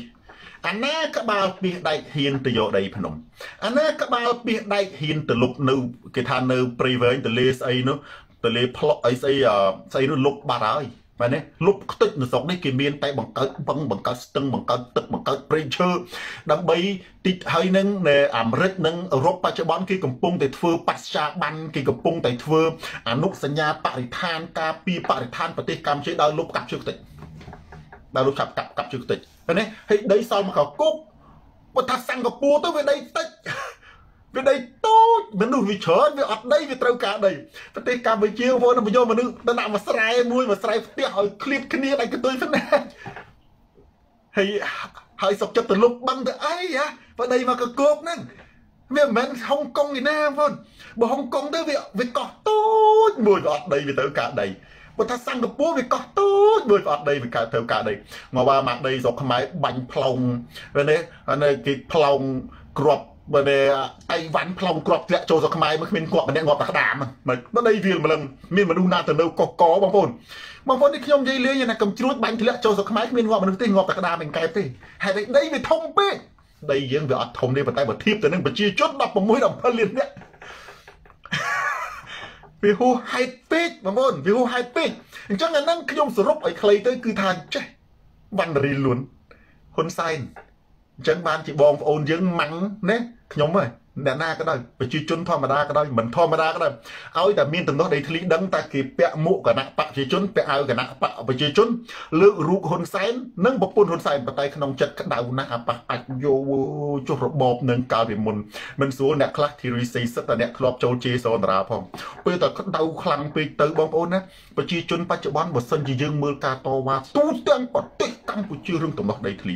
គ្មានការតវ៉ាណាមួយដែលអត់ពាក់អាវគណៈបកប្រជាជនលើករូបហ៊ុនសែននិងប្រពន្ធរបស់គាត់ប៉ុន្តែសាកបោះឆ្នោតមើលតែពួកនឹងបោះឆ្នោតហ៊ុនសែននេះខ្មែរឆ្លាតហ่ะអ្នកឯងល្ងងទេទៅថាគេល្ងងនោះអញ្ចឹងតនេះខ្ញុំនិយាយមកវគ្គឥឡូវរឿងប្រលៀនយន្តហោះដែលទៅឈូសដីប្រជាជនបងប្អូនណានៅក្នុងប្រទេសណាក៏ដោយក៏មានការអភិវឌ្ឍហើយក៏មានទំនាស់ជាមួយប្រជាជនដែរ យើងនិយាយយុត្តិធម៌នៅជប៉ុនក៏ដោយ នៅអាមេរិកក៏ដោយ នៅបារាំងក៏ដោយ នៅអាល្លឺម៉ង់ក៏ដោយប៉ុន្តែគេគោរពសិទ្ធិគេអត់បង្ខំបណ្ដេញប្រជាជន ដោយគ្មានសំណងត្រឹមត្រូវទេ មាននៅអាល្លឺម៉ង់អាផ្លូវមានផ្ទះមួយនេះខ្ញុំទៅនេះច័ន្ទស្រីមុំដឹកខ្ញុំទៅហើយនឹង ព្រោះគឺទៅនៅសូហ្វីអានីសាន់គាត់ដឹកនឹងនៅតំបន់ទីក្រុងអត់និយាយពីចាំស្រីមុំដឹកទៅនឹងគឺនៅនេះនៅទីជនបទមានផ្ទះមួយនឹងបងប្អូនរត់ធ្វើផ្លូវវៀងឬធ្វើផ្លូវពីលើហេតុអីវាអត់លក់វាអត់លក់អត់លក់តិចច្រឡំទៅឈូសផ្ទះគេបានទេណាមិនច្បាប់ធំ នៅកម្ពុជាលុយធំលុយគប់ក្បាលបែកចោលប្លន់ជាតិរត់ចោលសន្តិភាពលុយចិនបើថាចិនចង់យកស្រែតំណងបងប្អូននៅប្រទេសកម្ពុជាសុកសុកបាត់ដែរខ្លួនណាបងប្អូនរស់នៅសុកសានសន្តិភាពយូរហើយស្រាប់តែពេលមានអគុណសន្តិភាពទឹកព្រៃធ្លាក់ក្តុកមិនកាលពីអត់ទាន់មានអាពាកអគុណសន្តិភាពបងប្អូនរស់នៅដោយសុកសានធ្វើស្រែអ្នកដាំដំណាំកាត់អ្នកបេះផ្លែដឹក ទៅកជ្រែងដឹកទៅផ្សារបងប្អូនទៅផ្សារបងប្អូនសបាយបងប្អូនដឹកគោបងប្អូនថាដីទីលាននិយាយពីសបាយស្រាប់តែអរគុណសន្តិភាពម៉ាំងចិនវាកលេចឃើញនេះវាចង់ធ្វើទៅនឹងយកលុយគប់ក្បាលគណៈបកប្រជាជនប៉ុកស្រាប់តែស្រែយើងคล้ายទៅជាคล้ายទៅជាតំបន់អភិវឌ្ឍពីមុនមនុស្សឮតែតំបន់អភិវឌ្ឍឆេងហួតមនុស្សស្លូតមនុស្សអបងប្អូនអូមកដល់ហើយមកដល់ហើយមកដល់ហើយសូពេចឥឡូវនរណាក៏ដោយឲ្យតែលឺពាក្យថាតំបន់អភិវឌ្ឍស្លុត ជើមកលឺដល់តំបន់អវត្តហូរកាត់ភូមិអញមិនដឹងយ៉ាងណាត្រក់ទឹកភ្នែកខ្លះឥឡូវរឿងពលានយន្តហោះនេះខ្ញុំនិយាយខ្ញុំយើងក្នុងអទីហោះឬមួយខ្ញុំឃើញផ្ទាល់តែម្ដងនៅអាឡម៉ង់គេមានទំនាស់ជាមួយប្រជាជនអត់លោកអត់លោកផ្ទះនៅចឹងទៅជីឡានទៀងទៅគេធ្វើពីលើទៅគេក្បាលរឹងគេថាគេថាបើអត់លក់តែឯងទ្រាំថ្លង់ឡានគេត្រូវទ្រាំរហូតដល់យូរយូរទៅ មានប្រទេសខ្លះតាមខ្ញុំនិយាយតាមខ្ញុំចាំនៅអឺរ៉ុបនេះទីផ្សេង ដូចគ្នាដែរអត់លក់ប៉ុន្តែថ្លង់ឡានយូរទៅលក់ដល់ទៅពេលលក់ថោកបណ្ដោយពេលលក់រត់រត់រឿងវិញរត់ថាបើឯងចង់លក់អត់ឲ្យតម្លៃដូចមុនទេណាពីមុនអាដីនឹងអត់លក់រត់ឲ្យឡើងប្រមាណលឿនអត់លក់ស្រាប់តែយូរយូរចង់ចាញ់ហើយដល់ពេលចង់ចាញ់លក់រត់លេងវិញ ប៉ុន្តែទោះជារត់លេងក៏ដោយរត់មិនលេងក៏ដោយក្រុមហ៊ុនលេងក៏ដោយមិនលេងក៏ដោយគេចង់និយាយថាគេគោរពសិទ្ធគេគោរពសិទ្ធបងប្អូនវាដែលម៉ែណាមនុស្សធ្វើស្រែមនុស្សធ្វើចំការមនុស្សសុកសុកដែលអភិវឌ្ឍការពិតមែនអភិវឌ្ឍប្រទេសជាតិចង់ធ្វើពលានយន្តហោះឲ្យការពិតមែនប៉ុន្តែនឹងដីគេមានម្ចាស់ណែទិញឲ្យលុយគេទៅបើថាអត់លុយកុំធ្វើតែមិនក៏បភ្លីបភ្លើលលេលលើដោយឡានអត់លេខចឹងណាអ្នកឯងចង់ធ្វើយន្តហោះអ្នកអត់លុយផងហ្នឹងអ្នកឯងដើរយកដីគេធ្វើយីចុះគេនឹងឆ្កែគេនឹងមនុស្ស អ្នកឯងនឹងរស់នៅលើផែនដីណាដកដង្ហើមខ្ចល់ដូចតែគេអ្នកឯងមនុស្សដូចតែគេតើលួតពីលើផ្ទះ7ជាន់ងាប់ដូចតែគ្នាណាដកទៅទ្រព្យសម្បត្តិទៅមនុស្សយើងដូចគ្នាទាំងអស់នៅចំពោះមុខធម្មជាតិគឺដូចគ្នាទាំងអស់ហេតុអីបានចេះតែឯងចាត់ទុកជីវិតខ្មែរនេះឃើញគ្នាអ្នកក្រីក្រហ្នឹងអ្នកឯងមើលងាយគេម៉េះមិនក៏ចេះអ្នកឯងដើរទៅយកដីគេតែប្រេះតែប្រាក់អីកូនអ្នកឯងក៏សាហាវម៉េះណា តើអ្នកឯងចប់ពេលណាម៉ៃជួនណាអ្នកឯងនៅនៅលុបលុនចង់លឹបស៊ីប្រទេសកម្ពុជាដល់ពេលណាយើងមិនដែលទៅប្រឆាំងទេជាមួយយอมយ៉ាញ់ជាមួយនឹងការសាងសង់ផ្លូវសាងសង់ឯងប៉ុន្តែណាបើថាអ្នកឯងប៉ះដីគេមកចាអាមកលុយគេអានឹងបាននិយាយស៊ីនំឲ្យលុយត្រូវមិនទៅស៊ីនំឲ្យលុយដូចជួបខំទេមិនទៅស៊ីនំឲ្យលុយដូចអុកញ៉ាទេអានឹងវាជួញដូរផ្លូវភេទវាខុសច្បាប់ ប៉ុន្តែស៊ីនំឲ្យលុយបើប្រើត្រូវបើអ្នកឯងចង់ធ្វើផ្លូវពង្រិចចូលដីប្រជាជន1ម៉ែត្រ1ម៉ែត្របង់ឲ្យតម្លៃទីផ្សារទីផ្សារនៅតំបន់ហ្នឹងដីមកការ៉េប្រហែលបង់ឲ្យគេប៉ុណ្ណឹងទៅនៅអាឡែងវាលស្រែដែលអ្នកឯងទៅទៅធ្វើពលានយន្តហោះហ្នឹងទីផ្សារកន្លែងហ្នឹង1ម៉ែត្រការ៉េប្រហែលឲ្យប្រជាជនប៉ុណ្ណឹងចាំតើ ចាំតែមនុស្សតវ៉ាយតើបងប្អូនបើគេអភិវឌ្ឍដីស្រែរបស់គាត់ហ្នឹងគាត់ស្រាប់តែបានលុយពីមុនមកគាត់អត់មានលុយសោះឥឡូវគាត់បានលុយ50 60ម៉ឺនដុល្លាររឿងអីដែលគាត់មិនលក់អ្នកឯងដើម្បីសាងសង់អីមួយទីមួយត្រូវមានដីដើម្បីមានដីតើអ្នកឯងណាក្មេងស្រុកស្រែមានលុយទិញដីហ្នឹងអត់បើអត់មានលុយដីទិញដីហ្នឹងទេថាកុំអាលធ្វើ ចឹងអានឹងគឺគេហៅថារំលោភសិទ្ធិមនុស្សប្រិយមិត្ត share បរិយាទៅកាន់ប្រិយមិត្តដទៃទៀតសុខេងម៉ៅទូរទស្សន៍សូនតារាស្រាប់ខោជន់បដិការរឹតទីហួរផ្លាស់ប្ដូរផ្នែកកំណត់ប្រធានបទទី2ក្តៅបងប្អូនប្រធានបទទី2នេះណាគឺអត្តបាំងសុតសាបបងបងបងប្អូនស្ដាប់សូនតារាទៅព្រឹងចៃហ្មងប្រធានបទទី2នេះគឺរឿងហ៊ុនសែនណាខ្មែរអង្គរ គាត់បញ្ជាឲ្យអាញាធរបង្ក្រាបកំតិចសូវយាសៅនរណាដែលចង់បំផ្លាញការបោះឆ្នោតហើយគាត់និយាយថាគណៈបកប្រឆាំងណាចង់បំផ្លាញការបោះឆ្នោតវិទ្យុអាស៊ីសេរីក៏និយាយ វិទ្យុបារាំង AFV ក៏និយាយគ្រប់បណ្ដាញផ្សព្វផ្សាយ VOA ណាក៏និយាយប៉ុន្តែមតិគេខុសពីមតិសូនារាទាំងអស់មតិគេជាមតិហេតុការមតិសូនារាជាមតិស្រាតខោមតិហេតុការយ៉ាងម៉េចទាំងអ្នកវិភាគឬក៏អ្នកនយោបាយចាត់ទុក ទង្វើរបស់ហ៊ុនសែននឹងទីផ្សេងគឺជាការរំលោភសិទ្ធិមនុស្សអ្នកទង្វើរបស់ហ៊ុនសែននឹងគឺជាការបំផ្លាញលទ្ធិជាតិបតៃណាទង្វើរបស់ហ៊ុនសែននឹងគឺជាការបង្ក្រាបសម្លេងប្រឆាំងដែលនេះមិនឲ្យមានការចូលរួមនៅក្នុងការបោះឆ្នោតឬក៏នៃប្រឆាំងទៅនឹងសេរីភាពនៅក្នុងការបញ្ចេញមតិណ៎ដូចជា AFV នេះគេដាក់សំណួរថាហីចុះហេតុអី AFV ទៅនឹងគាត់សរសេរត្រូវរបស់គាត់ណាសច្ចធម៌បាទគាត់ថាហីចុះកែងហ៊ុនសែនរំលាយគណៈបកតាំងពីឆ្នាំ2007ហើយអះអាងថាគណៈបកនឹងរលាយបាត់ហើយហីហើយចុះហេតុអីបានជានៅថាគណៈបកនឹងនៅតែខ្លាចនៅតែអីធ្វើអីទៀតណាបងប្អូន AFV គាត់សរសេរទៅនឹងល្អខ្ញុំមិននិយាយថាឲ្យទៅសរសេរត្រូវឲ្យសរសេរត្រូវចិត្តអត់ទេវាពិតមែននិយាយត្រូវវាពិតណា AFC ស្អីទៅនឹងវាពិតបើពិតយើងថាពិតមកខុសយើងថាខុសចាំមានដំណាមិនពិតក៏សួរត្រូវតើគាត់ថាអីកែងគណៈបកសង្គ្រោះជាតិនឹងរំលាយតាំងពីឆ្នាំ2017ហើយថារលាយហើយទៅជាខ្មៅទៅជាផេះហើយនៅខ្លាចស្អីទៀតអញ្ចឹងវាមានន័យទៅម៉េចអាសំណួរហ្នឹងវាជាចម្លើយថាបច្ចុប្បន្នសង្គ្រោះជាតិនៅពេញប្រទេសនៅក្នុងបេះដូងបងប្អូនហ្នឹងបានជាហ៊ុនសែនញាក់ទៅត្រើកចឹងឌីកំយឿនទុកទុកទុកទុកទុកទុកឲ្យតែកាលណាបន្ទាយពីគណៈបកសង្គ្រោះជាតិ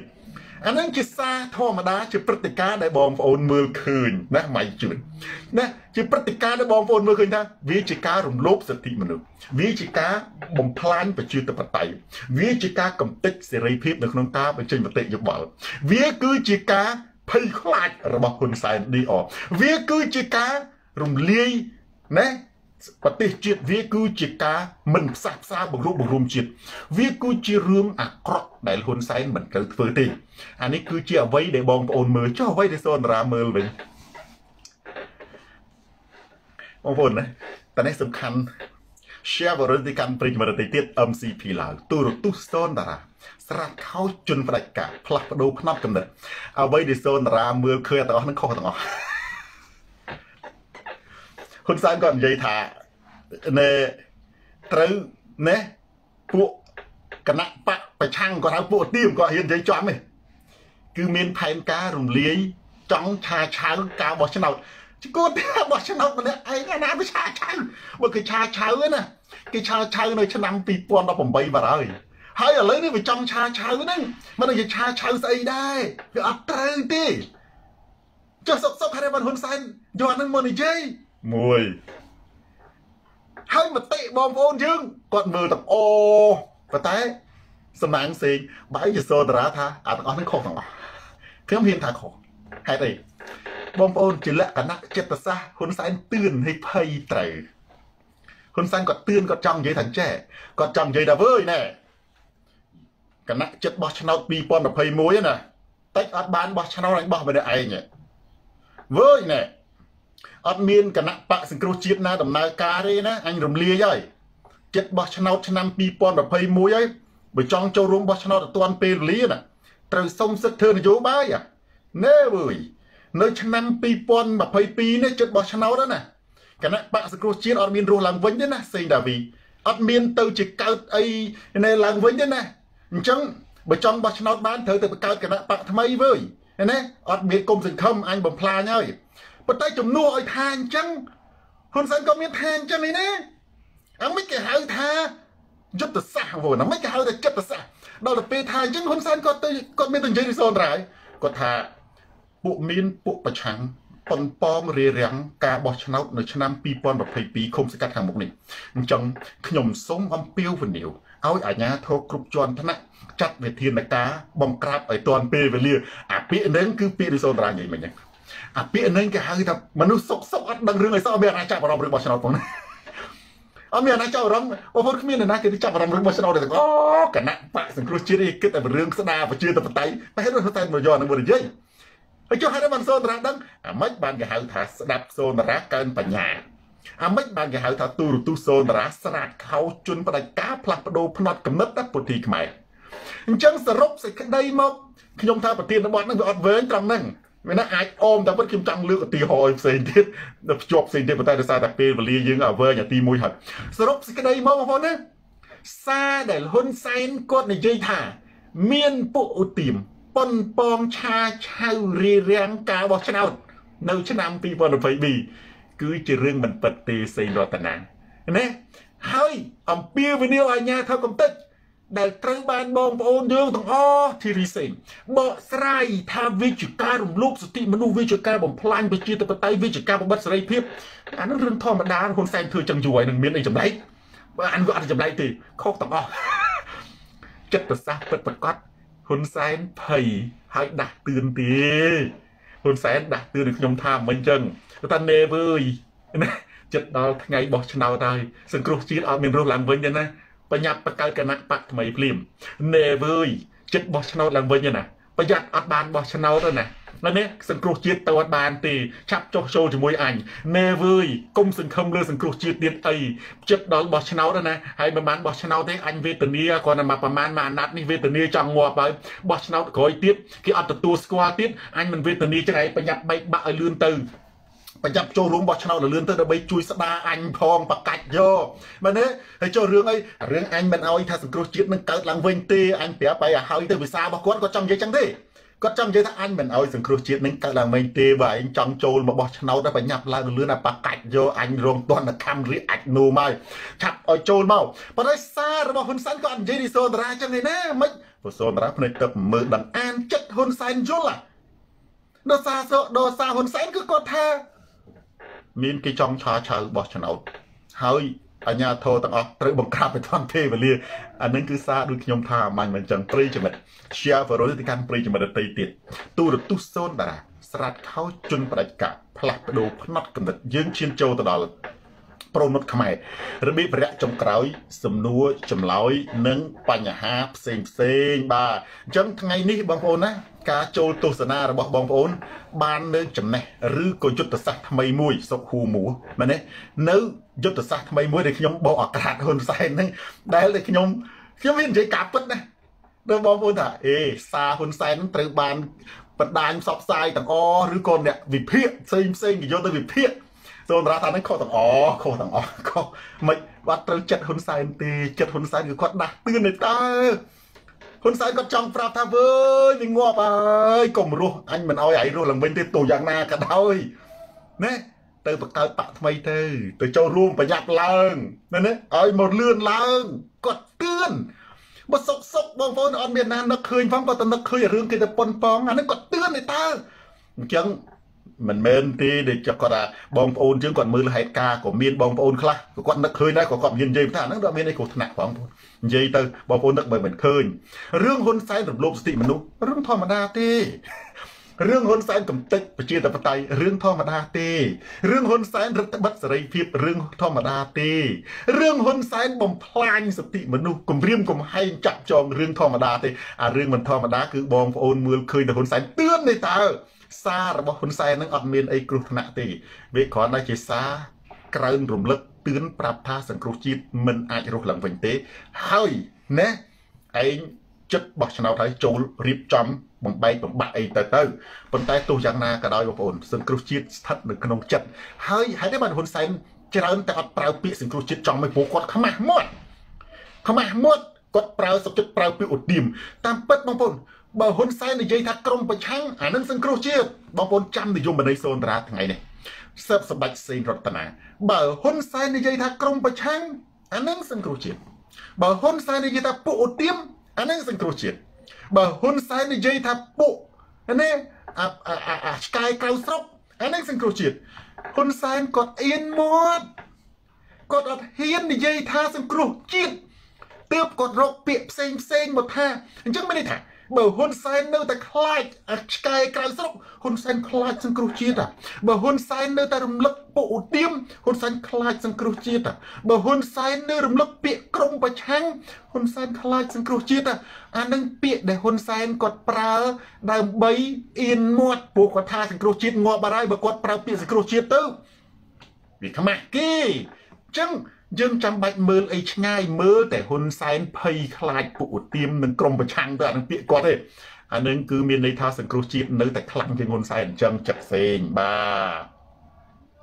ស្លែងផ្អែមនិងចន្ទរាខនអាអឺ touch light បាទហេមិញដូចឃើញខ្ញុំនិយាយនិយាយជុំអត់បានមើលឈ្មោះឈ្មោះមិញសង្ស័យនៃណាមីងមកសុខូទេដឹងមែនទេ សុកមួហ៊ូអមិនប្រស័យមែនគាត់ទេបាទតែខ្ញុំនិយាយទៅជាជក់មាត់ឃើញឈ្មោះអត់ដឹងចេះតែអានទៅបាទបើបើសិនជាឃើញទេអានឹងគឺពិតតែគាត់យល់ស្ថានភាពយោបាយច្បាស់អានឹងគឺជាសារទឿនរបស់ហ៊ុនសែនទេ ជាសិក្ខាក្រៅដឹករបស់ហ៊ុនសែនទេភាសាដែលហ៊ុនសែនដាស់ទឿនទេ ហើយក៏ជាការប្រមានផងដែរថាសង្គ្រោះជាតិមិនអាចទៅតែទោះយ៉ាងណាក៏ដោយទោះជាគាត់មិននិយាយចំឈ្មោះប៉ុន្តែគាត់សំដៅលើសង្គ្រោះជាតិហើយហ៊ុនសែនអៀនមាត់ បាទអឺក្បាលខ្មែរដាំតែអងហើយបើឃើញគាត់ខមមិនដងទៀតខ្ញុំមើលខ្ញុំមើលឈ្មោះដឹងហើយបាទមិញចោលភ្នែកទៅអត់ដឹងបាទអឺពូពៅកំពុងមើលបាទពូពៅកំពុងមើលសេងវុធីថ្ងៃនេះមើលដាច់រហូតលោកគ្រូបាទមើលទូរទស្សន៍សូនតារាកើតចំណេះដឹងនឹងយុទ្ធសាស្ត្រហ៊ុនសែនទៅលើយុទ្ធសាស្ត្រហ៊ុនសែននៅលើបាតដៃហេងមេងសេងលោកគ្រូនៅខ្មោចលងមនុស្ស អាអាចគាំងស្លាប់ណាមិនអីទេបាទគេថាចេះសុភាសិតខ្មែរយើងណាគេថាខ្លាំងដូចស្រមោចណាណាមានរឹកដូចខ្មោចចិត្តដាច់ដូចស្រីណាអានឹងវាវាវាត្រូវធម្មតាបើកាលណានិយាយពីសុភាសិតវាចូលរួមចំណែកខាងត្រូវហ่ะមានណាខ្លាំងដូចស្រមោចស្រមោចខ្លាំងពុះខ្លួនវាតូចវាអាច កសាងលើកអ្វីដែលធំជាងវានេះ10ទៅ20ដងរួចមានរឹកដូចខ្មោចសង្គ្រោះជាតិជាខ្មោចដែលលងហ៊ុនសែនឲ្យរៀកនោមដូរខោទឹកនោមជារៀងរាល់ថ្ងៃនឹងលេបថ្នាំប្រចាំកាយចិត្តដាច់ដូចស្រីបាទនីចាន់នីសង្គ្រោះជាតិនៅក្នុងចិត្ត បាទបានត្រឹមតែនៅក្នុងចិត្តអត់ទេធម្មតាអ្វីអ្វីទាំងអស់បើនៅក្នុងចិត្តហើយអត់មានបានត្រឹមទៅគ្រាន់តែវាអត់ទាន់ចេញតែប៉ុណ្ណោះឯងដែលខ្ញុំនិយាយរឿងថាបងប្អូនដើម្បីធ្វើយន្តហោះដើម្បីធ្វើស្ពានធ្វើឡានធ្វើកុំព្យូទ័រធ្វើបច្ចេកវិទ្យាហ្នឹងណាវាតតែមានក្នុងចិត្តមុនសិនវាមិនដែលយកស័កទៅធ្វើអានឹងបានព្រោះស័កវាអត់មានចំណេះនឹងនៅក្នុងចិត្តទេអញ្ចឹងបើកាលណាមានក្នុងចិត្តហ្នឹងហើយហ៊ុនសែនខ្លាចបើអត់ក្នុងចិត្តអត់ទេបងប្អូនណា អាចលនាក្នុងចិត្តហ្នឹងគឺជាចលនាបដូរផ្នត់កំណត់ហ្នឹងលីលីវារីកតាមបែបធម្មជាតិហើយអំពើអាក្រក់នៃហ៊ុនសែនហ្នឹងវាដួលតាមបែបធម្មជាតិដែរបងប្អូនឥឡូវអ្នកឯងខ្ញុំនិយាយអញ្ចេះអ្នកភីវ៉ាន់នេះឲ្យព្រីជីវិតឃើញផោះតាំងច្បាស់តែម្ដងអ្នកណាថារបបហ៊ុនសែនកាន់តែខ្លាំងទៅខ្លាំងទៅអត់ដាច់ខាត របបហ៊ុនសែនកាន់តែវិនិច្ឆ័យទៅវិនិច្ឆ័យទៅដួលរលំទេហេតុអីមនុស្សចំនួនក្រោយអត់គ្រប់គ្រងទេចុះហេតុអីបានពេលនេះនេះសំអាងការស្រីទូចប្រសាទពេជ្រហ៊ុនសែននៅកាន់អំណាចដោយរាជវង្សហានកាន់អំណាចអញ្ចឹងទីបញ្ចប់ផ្នែកកំណត់ថ្មីនឹងបដូររបបណាអញ្ចឹងដូចគ្នាហ៊ុនសែនបច្ចុប្បន្នណាគាត់មានតែទុកនឹងការពាររឿងឲ្យរបបហ៊ុនសែនរីកចម្រើនអត់មានទេ ទោះបីជាបងប្អូនមើលទូឃើញថារបបហ៊ុនសែននឹងខ្លាំងប៉ុន្តែអានឹងវាជាសម្បកទេឯចំណែករបបហ៊ុនសែននេះណាអត់តែពីហ៊ុនសែនទៅវាចប់ហើយបច្ចុប្បន្នហ្នឹងហ៊ុនសែនកុំថាឡើយអត់ពីហ៊ុនសែននៅហ៊ុនសែនក៏ដោយ នៅហ៊ុនសែនក៏ដោយ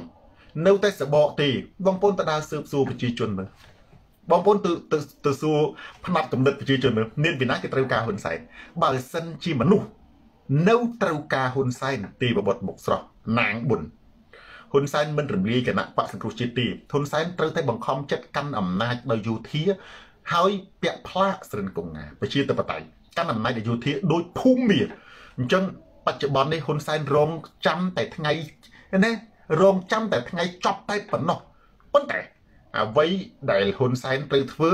គឺតើគាត់អាចកែប្រែស្ថានភាពទប់ខ្លួនគាត់ឲ្យមានជីវិតអមតៈដែរទេចប់ជីវិតអមតៈនឹងចង់សម្ដៅលើសម្ដៅមរតកឬក៏គេឈ្មោះតែប៉ុណ្ណឹងឯងណាចិត្តជលសាសម្ដៅទៅលើមរតកនិងគេឈ្មោះតែប៉ុណ្ណឹងឯងប៉ុន្តែបើសិនជាហ៊ុនសែនលេងក្តៅទៅក្តៅទៅណាខ្ញុំថាដូចអ៊ីតាលីអញ្ចឹងសំបីតែឈ្មោះស្អីណារំលឹកក៏គេមិនឲ្យរំលឹកផង ដូចប៉ុលពតនៅក្នុងប្រទេសកម្ពុជាចឹងសំបីតែរំលឹកក៏គេមិនឲ្យរំលឹកផងបើទោះបីជាក្រោយពីហ៊ុនសែនទៅក្មេងចំនួនហ៊ុនសែននឹងកូនហ៊ុនសែនខ្លាំងប៉ុន្តែខ្លាំងតែគ្រូសាហ៊ុនសែនទេហ៊ុនសែនដរាបណាតែគាត់ខ្លាំងបានទាល់តែគាត់ឈ្នះទឹកចិត្តប្រជាជនទើបគាត់ខ្លាំងបានបើសិនជាគាត់អត់ឈ្នះទឹកចិត្តប្រជាជនប្រជាជនស្អប់ទេណាទោះជាកូនគាត់ខ្លាំងខ្លាំងតែកូនគាត់ដែរវារុញទៅទាំងអស់មហាជនចំនួនក្រោយបងប្អូន Machiavelli ទស្សនវិទូអ៊ីតាលីវិទ្យាសាស្ត្រនយោបាយគាត់សរសេរសភៅមួយឈ្មោះថា The Prince The Prince ជាភាសាខ្មែរបកថាសម្ដេចខ្លះគេបកថាសម្ដេចនេះបើព្រះអង្គម្ចាស់តាមពិតទៅបើសិនជាខ្ញុំសូនតារាពួកខ្ញុំអ្នកជំនាញទស្សនវិជ្ជាខ្ញុំហ៊ានបកខ្ញុំថាមេដឹកនាំខ្ញុំបកថាអញ្ចឹងណា The Prince នឹងមានន័យថាមេដឹកនាំហ្មិចពីព្រោះមេដឹកនាំពីដើមគឺសំដៅទៅលើមហាក្សត្រនៅអឺរ៉ុប នេះអ្នកដឹកនាំគឺមហាក្សត្រអញ្ចឹងហើយបានជា Machiavelli គាត់សរសេរសៀវភៅមួយដាក់ឈ្មោះថា The Prince ដែលមានអ្នកខ្លះបកថាសម្ដេចមានអ្នកខ្លះបកថាមហាក្សត្រប៉ុន្តែបើសូនតារាខ្ញុំបកថាអ្នកដឹកនាំថាអញ្ចឹងពីព្រោះនៅចំនួនដើមអ្នកដឹកនាំជាមហាក្សត្រជាស្ដេចទាំងអស់គាត់សរសេរថាចែមេដឹកនាំទោះជាសាហាវព្រៃផ្សៃយ៉ាងណាក៏ដោយ ត្រូវមានប្រជាជនជារបង មានន័យថាប្រជាជនស្រឡាញ់គ្រប់គ្រងដែរណាមិនទាំងអស់ទេប៉ុន្តែបើសិនជាប្រជាជនអត់គ្រប់គ្រងហើយសាហាវប៉ុណ្ណាក៏ងាប់ដែរអានឹងមកគីវលីមិនសូនតារាទេបងប្អូនខ្ញុំឲ្យបងប្អូនមើលរឿងប្រវត្តិសាស្ត្រចិនមួយរឿងនៃប្រវត្តិនៃស្ដេចហានស្ដេចហានណាឈឹមស៊ីណាគាត់ថា គាត់យកបានទឹកដីទាំងមូលស្ដេចហាននឹងរាជវង្សហានស្ដេចដែលកើតចេញពីកសិករកើតចេញពីប្រធានភូមិស្ដេចនឹងគាត់ប្រធានភូមិឯងសាររបស់គាត់គាត់និយាយត្រូវតែហ្នឹងគាត់ថាការដែលគាត់យកបានទឹកដីទាំងមូលនឹងមិនមែនដោយសារតែគាត់នឹងខ្លាំង100%ទេដោយសារតែស្ដេចមុននឹងធ្វើឲ្យប្រជាជនមានកំហឹងអញ្ចឹងឲ្យតែមានអ្នកណាងើបប្រជាជនទៅបដុំជាមួយអាហ្នឹង មិនដឹងថាអានឹងមានសមត្ថភាពអត់សមត្ថភាពឯឲ្យតែអានឹងងើបឲ្យរឹងមាំដោយសារតែប្រជាជននឹងស្អប់អារបបរបបស្ដេចដែលកាន់អំណាចនឹងវាខូខើឈិញនៅក៏ឈិញបងប្អូនទៅមើលរឿងស្អីគេអានឹងរឿងប្រវត្តិស្ដេចហានណាបងប្អូនទៅមើលប្រវត្តិស្ដេចហានការពិតចឹងមែនណាស្ដេចហានហ្នឹងបើយើងនិយាយទៅគាត់គាត់គាត់តែឆ្លាតប៉ុន្តែចំណេះដឹងផ្នែក អក្សរសាស្ត្រក៏អត់អត់មានទេមានគេជួយគាត់ចំណេះដឹងផ្នែកយោធាណានេះគឺនៅគេជួយណាចំណេះដឹងផ្នែកគ្រប់គ្រងរាជកិច្ចមានគេជួយចំណេះដឹងផ្នែកគ្រប់គ្រងរញ្ញវត្ថុមានគេជួយទាំងអស់ប៉ុន្តែគាត់គ្រាន់តែជានិមិត្តរូបនៃការដឹកនាំហើយមនុស្សទៅនៅខាងគាត់ច្រើនវាដោយសារតែមនុស្សនឹងស្អប់មនុស្សនឹងស្អប់អាស្ដេចឈិងស្ដេចឈិងខូខើដូចគ្នារបបហ៊ុនសែនណាទុបអត់ជាប់ទេបងប្អូនដូចម៉ាក់គីអវេលីនិយាយចឹង ទស្សនៈវិទូនិយាយងាយខុសទេព្រោះអានឹងវាឆ្លុះបញ្ចាំងអំពីចិត្តសាស្ត្រនយោបាយវាឆ្លុះបញ្ចាំងអំពីអត្តចរិតនយោបាយវាឆ្លុះបញ្ចាំងអំពីសង្គមវិទ្យាសាស្ត្រនយោបាយមេដឹកនាំសាហាវប៉ុណ្ណាក៏ដោយត្រូវមានប្រជាជនជាខ្នងបង្អែកបើអត់ប្រជាជនជាខ្នងបង្អែកណារ៉ាគឺស្លាប់ហើយបាទ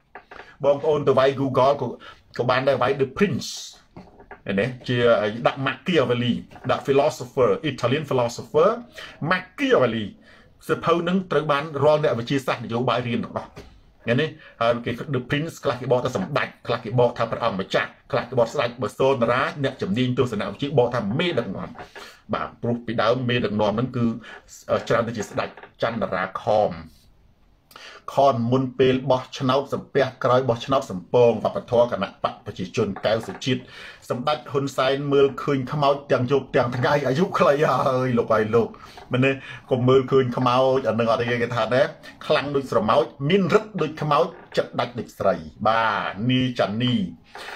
ឆ្នាំណាទើបបកសង្គ្រោះជាតិងើបឡើងវិញសង្គ្រោះជាតិរស់រៀងរាល់ថ្ងៃគ្រាន់តែវាអត់ទាន់មានច្រកចេញតែប៉ុណ្្នឹងឯងយើងដឹងថាសង្គ្រោះជាតិងើបមិនងើបមើលតែហ៊ុនសែនភ័យដឹងហើយដូចសុជាតិគាត់និយាយមិនអញ្ចឹងចង់ដឹងថាសង្គ្រោះជាតិមានអធិពលប៉ុណ្ណាទៅមើលសម្ដីហ៊ុនសែនភ័យអញ្ចឹងបានតែខ្ញុំថា AFE លើកនេះនិយាយត្រូវណា គេថាអីឆ្ងល់ដែរឬគេថាសង្គ្រោះជាតិរំលាយតាំងពីឆ្នាំ2017ហើយចុះហេតុអីបានជាហ៊ុនសែននឹងនៅតែភ័យខ្លាចដដែលញាក់សាច់វាមានន័យថាអានឹងវានៅជុំវិញទៅហ៊ុនសែនហ្នឹងសូម្បីតែមិត្តភ័ក្ដិហ៊ុនសែនហ្នឹងសិនតែសង្គ្រោះជាតិទាំងអស់ហ្នឹងអានឹងមួយមួយទៀតហើយចុះអីហ៊ុនសែនមិនដែលថាសង្គ្រោះជាតិគាត់អៀនមាត់ទេគាត់អៀនមាត់ទេគាត់អៀនមាត់ទេអាពាក្យឧទាមពាក្យក្រុងប្រឆាំងពាក្យអីទាំងអស់ហ្នឹងពាក្យសង្គ្រោះជាតិហ្នឹងណាហើយមិនគាត់មិនថាទេបង គាត់អៀនមាត់ទេហ៊ុនសែននៅតែភ័យអញ្ចឹងគ្មានអ្នកណាដឹងច្បាស់ជាងហ៊ុនសែនទេគីគីណូថាសង្គ្រោះជាតិមានរិទ្ធប៉ុណ្ណាបាទបុរដ្ឋបារ៉ាតបារ៉ាតលើខេមបូបាទដាលីនសុកស្ដេចហានទូឆយីហៀងតារាតារាបាទអរេរឿងមុនរឿងសាមកុកប្រវត្តិស្ដេចហាន ប្រវត្តិស្ដេចហានគាត់យកបានទឹកដីនគរទាំងមូលឃ្លាមកឃ្លាគាត់និយាយខ្សែដោយសារនគរឈីងខូខើអញ្ចឹងបង្កើតគំនុំឲ្យប្រជាជនទូទាំងនគរហេតុដូច្នេះហើយមនុស្សត្រូវតែផ្ដួលមនុស្សត្រូវផ្ដួលគេត្រូវការឧបករណ៍មួយទៅផ្ដួលអានគរឈីងហ្នឹងហើយអញ្ចឹងវាជាព្រំលិខិតគាត់និយាយថា វាមិនមែនសមត្ថភាពរបស់គាត់ទាំងស្រុងទេវាគឺជាកំហឹងប្រជាជនចាំណា ទ្រឹស្ដីនឹងជាទ្រឹស្ដីវិទ្យាសាស្ត្រនយោបាយត្បិតតែវាជារឿងអក្សរសិល្ប៍ចិនក៏ដោយនេះស្ដេចហានគាត់និយាយថាវាមិនមែនជាសមត្ថភាពរបស់គាត់ទាំងស្រុងទេមូលហេតុដែលគាត់កាន់កាប់នគរទឹកដីទាំងមូលដោយសារតែកំហឹងប្រជាជនជាមួយស្ដេចឈីងសងវ៉ានីលោកគ្រូនិយាយចំបេះដូងហ៊ុនសែនហើយគ្មាននរណាដឹងច្បាស់ ជាងហ៊ុនសែនទេថាសង្គ្រោះជាតិខ្លាំងក្លាប៉ុណ្ណាប៉ុន្តែគាត់អៀនមាត់គាត់ហៅឧទាមឲ្យតែហ៊ុនសែនរំលឹកអានឹងនឹងសង្គ្រោះជាតិហើយចាំប៉ុណ្ណេះអឺសេងវុធីបាទវិចិត្រសួននិងយុនប្រសិទ្ធលុយ10000 បាយមួយកញ្ចប់សាំងបា1លីត្រជ័យយោត្រឹមត្រូវហើយបាទគណៈបកសង្គ្រោះជាតិមានអ្នកខ្លះទៅហែគណៈបកប្រជាជនពីថ្ងៃយកលុយដើម្បីចាក់សាំងហែសង្គ្រោះជាតិល្អខ្ញុំមិនចង់នៅក្នុងសុបិនបាទឆ្កែកាចដេញខំណាក៏តបទៅអ្នកដតីឌីកំយានមនុស្សបានប្រព្រឹត្តហើយមានខ្លួនប្រកាសជាដេកភ័យត្រឹមត្រូវហើយហ្នឹងបើគេហៅខ្លាចស្រមោលខ្លួនឯងមនុស្សប្រភេទហ្នឹងដូចឌីកំយានគេហៅខ្លាចស្រមោលខ្លួនឯងសុទ្ធសរេតស័ក បាទឥឡូវដឹកឈើទៅហុងកុងកយហុងកុងអឺខ្ញុំបានមើលព័ត៌មានហ្នឹងប៉ុន្តែអត់មានប្រភពបាទអញ្ចឹងខ្ញុំបានលើកយកមកនិយាយមានតែប្រភពអ៊ីនធឺណិតមានប្រភពអីផ្សេងផ្សេងបើសិនជា VOA អាស៊ីសេរីអីគេដកស្រង់យកមកអានឹងច្បាស់ជាលក្ខណៈវិទ្យាសាស្ត្រហើយអានឹងយើងលើកយកមកនិយាយប៉ុន្តែការពិតវាមានមែនមិនអត់ទេគ្រាន់ថាមិនមែនទៅទៅហុងកុងឯងអាចទៅគ្រប់ប្រទេសជាពិសេសវៀតណាមនិងចិនតារារិជសិនសង្គ្រោះជាតិ ត្រឹមត្រូវហើយមាននៅក្នុងបេះដូងខ្មែរទាំងអស់ហ្នឹងឈៀងតកែវបាទវិចិត្រសួនបាទមុខបូព៌ាបរិវាបញ្ច្រាស់ទិសនិងបាក់កណ្ដឹងឆ្កែគេកណ្ដឹងឆ្កែអព្រំញីយមបែបបាទបាក់ជួងប៉ុលពតប៉ុលពតបងប្អូនគេហៅថាខួរក្បាលឌីសហ្នឹងមួយយ៉ាងមួយទៀតជំនាន់ប៉ុលពតវាប្រើជួងដើម្បីបញ្ជាបាទនេះមនុស្សអត់មានស្ដាប់អីទេអត់មានមតិអីទេឲ្យតែជួងពើងងើបទៅធ្វើការ ជួងពើងឈប់ហូបអាហារជួងពើងចេញពីធ្វើការជួងពើងចូលដេកអញ្ចឹងបានជាខ្ញុំថាខួរក្បាល discriminate វាស្ដាប់តែសំឡេងនឹងមួយអូហ្គសចាន់ណាយកចិត្តរិះបាន ស្របតាមស្ថានភាពបាទទ្រឹស្ដីនឹងគឺអត់ខុសទេកុម្មុយនីសក៏ដោយផ្ដាច់ការក៏ដោយម៉ាគីយ៉ាវ៉ាលីគាត់ ជាអ្នកដែលទស្សនវិទូខាងគ្រប់គ្រងគាត់ម៉ាគីយ៉ាវ៉ាលីគាត់មានទំនោរទៅលើការគ្រប់គ្រងមនុស្សដើម្បីគ្រប់គ្រងមនុស្សបានត្រូវសាហាវត្រូវព្រៃផ្សៃត្រូវមានច្បាប់មួយបើមិនចឹងទេនគរវិច្ឆបុកច្បល់ណាអានឹងទ្រឹស្ដីរបស់ម៉ាគីយ៉ាវ៉េលីហើយមេដឹកនាំប៉ុន្តែទោះយ៉ាងណាក៏ដោយមេគាត់ថាមេដឹកនាំចាំមកឃ្លានឹងចុងក្រោយរបស់គាត់សាហាវប៉ុណ្ណាក៏ដោយកុំឲ្យប្រជាជនស្អប់ឲ្យសាហាវក្នុងន័យប្រជាជនយល់ថាឃើញជាប្រយោជន៍ដើម្បីជាតិប៉ុន្តែបើសាហាវនេះ មនុស្សដែលសាហាវក្នុងន័យជាតិគឺអីទេឧទាហរណ៍ថាដូចសង្គ្រាមជាមួយបរទេសនៅនឹងសាហាវមែនប៉ុន្តែវាដើម្បីជាតិសាសខ្លួនឯងមែនទេឧទាហរណ៍ឧទាហរណ៍ដូចប្រទេសមួយប្រទេសណាសង្គ្រាមអ៊ីស្រាអែលសង្គ្រាមប៉ាឡេស្ទីននេះបើយើងមើលទៅវាសាហាវប៉ុន្តែសម្រាប់ជនជាតិគេអត់សាហាវទេមែនទេសម្រាប់មនុស្សជាតិយើងមើលឃើញយើងអត់ចាំឲ្យមានទេដូចខ្ញុំខ្ញុំអត់ចូលចិត្តមើលគ្រោះថ្នាក់ដូចជាមានក្មេងមានអីស្លាប់ខាងណាក៏ដោយ បាទនេះខ្ញុំអត់មើលខ្ញុំអូសរំលងពីពួកខ្ញុំអត់គ្រប់គ្រងរាល់សង្គ្រាមទាំងអស់ខ្ញុំអត់គ្រប់គ្រងបាទនេះប៉ុន្តែយើងសួរមើលមនុស្សសាហាវទេរ៉ាតែជនជាតិអ៊ីស្រាអែលគេអត់ថាគេសាហាវទេប៉ាឡេស្ទីនគេថាគេគេថាគេអត់សាហាវទេបាទនេះប៉ុន្តែនៅប្រទេសកម្ពុជានេះគឺសាហាវដាក់ជនជាតិឯងដូចហ៊ុនសែនគាត់កំតិចមិនកំតិច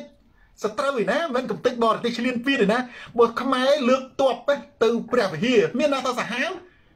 បើសុនជាបាញ់រះដូចស្រោចទឹកមកលឺដំណឹងថាតបខ្មែរអត់មានរបួសអីសោះតបថៃរបួសផ្សេងឲ្យដឹកទាំងឡានខ្មែរអយតើឧទាហរណ៍ខ្មែរប៉ះជាមួយឡាវក៏ដោយណាឮដំណឹងថាបាញ់គ្នាមកប្រាវមកតបឡាវនឹងរបួសផ្សេងដឹកឯងតាំងរឹងតាំងរឹងខ្មែររបួសម្នាក់ហើយវាយជាមួយវៀតណាមក៏ដោយមែនទេអានេះខ្មែរអយតាប៉ុន្តែហ៊ុនសែនអត់អញ្ចឹងហ៊ុនសែនអាពតឲ្យនឹងដូចអ៊ុងមីងលៀងចរិតហ៊ុនសែនចរិតប៉ុលពតចរិតអ៊ុងមីងលៀងដូចគ្នាគឺ កំតិចជនជាតិឯងវាខុសគ្នាទៅនឹងអញ្ចឹងបានសម្រាប់គោលចំហខ្ញុំសូនតារាទោះជនជាតិណាក៏ដោយខ្ញុំគ្រប់ជីវិតទាំងអស់បាទខ្ញុំអត់គ្រប់គ្រងសង្គ្រាមសម្រាប់គ្នាទេគ្រាន់តែខ្ញុំវិញបែបវិទ្យាសាស្ត្រខ្ញុំនិយាយវិទ្យាសាស្ត្របានតែប្រទេសខ្លះទេបានគេប្រទេសខ្លះយើងមើលទៅឃើញសាហាវសាហាវមែនតែជនជាតិគេអត់សម្រាប់ជនជាតិគេទេគេអត់កំតិចជនជាតិគេទេឥឡូវយើងមើលពិភពលោកមនុស្សប្រទេស2ទី1ប៉ុលពត ទី2ហ៊ុនសែនទី3អង្គមីងលៀងសិតតាពួកដែលថាហៅកំតិចជនជាតិខ្មែរគ្នាឯងហើយបើសិនជាកំតិចបរទេសឆ្លៀនពៀនខ្មែរបងប្អូនណាមានអ្នកខ្លះស្អប់ហ៊ុនសែនក៏ដោយក៏ចូលបំរើគាំទ្រដែរឧទាហរណ៍មានបរទេសឆ្លៀនពៀនឧទាហរណ៍យើងអត់ចង់ឲ្យអញ្ចឹងទេតិចខ្ញុំនិយាយលេងណាបើសិនតែយើងបើយើងការពារទឹកដីការពារជាតិមាតុភូមិកម្ពុជាទៅនៅនេះស្អប់ហ៊ុនសែនក៏ដោយបើសិនជាបរទេសឆ្លៀនពៀនស្រាប់តែមកយកដីខេត្តយើងពាក់កដាលមកយកព្រៃវែងខេត្តកដាល មកយកព្រៃវែងពាក់កដាលខ្ញុំអ្នកស្អប់ហ៊ុនសែនក៏ចូលបម្រើតបដើម្បីដេញបរទេសដែរខ្ញុំនិយាយការពិតអញ្ចឹងមូលហេតុដែលហ៊ុនសែនគាត់សាហាវដែលយើងថាអាក្រក់ខុសគេណាគឺដោយសារតែហ៊ុនសែនកំទេចជនជាតិខ្លួនឯងបាទម៉ៅប៊ុនម៉ៅធឿនប៊ុនបាទអូខេអូខេអឹមអង្គមីលៀងក៏ដូចគ្នាដែរកំទេចជនសម្រាប់ជនជាតិភូមិខ្លួនឯងជាង800នាក់អានឹងសិតពួកសាហាវហើយ សម្រាប់សាសដតីក៏សាហាវដែរគ្រាន់តែវាអត់វាដូចឥឡូវទៅទៅដូចហូជីមិញហូជីមិញដែលយើងកោលទោសដែលយើងស្អប់ហ្នឹងវាជាវរៈជន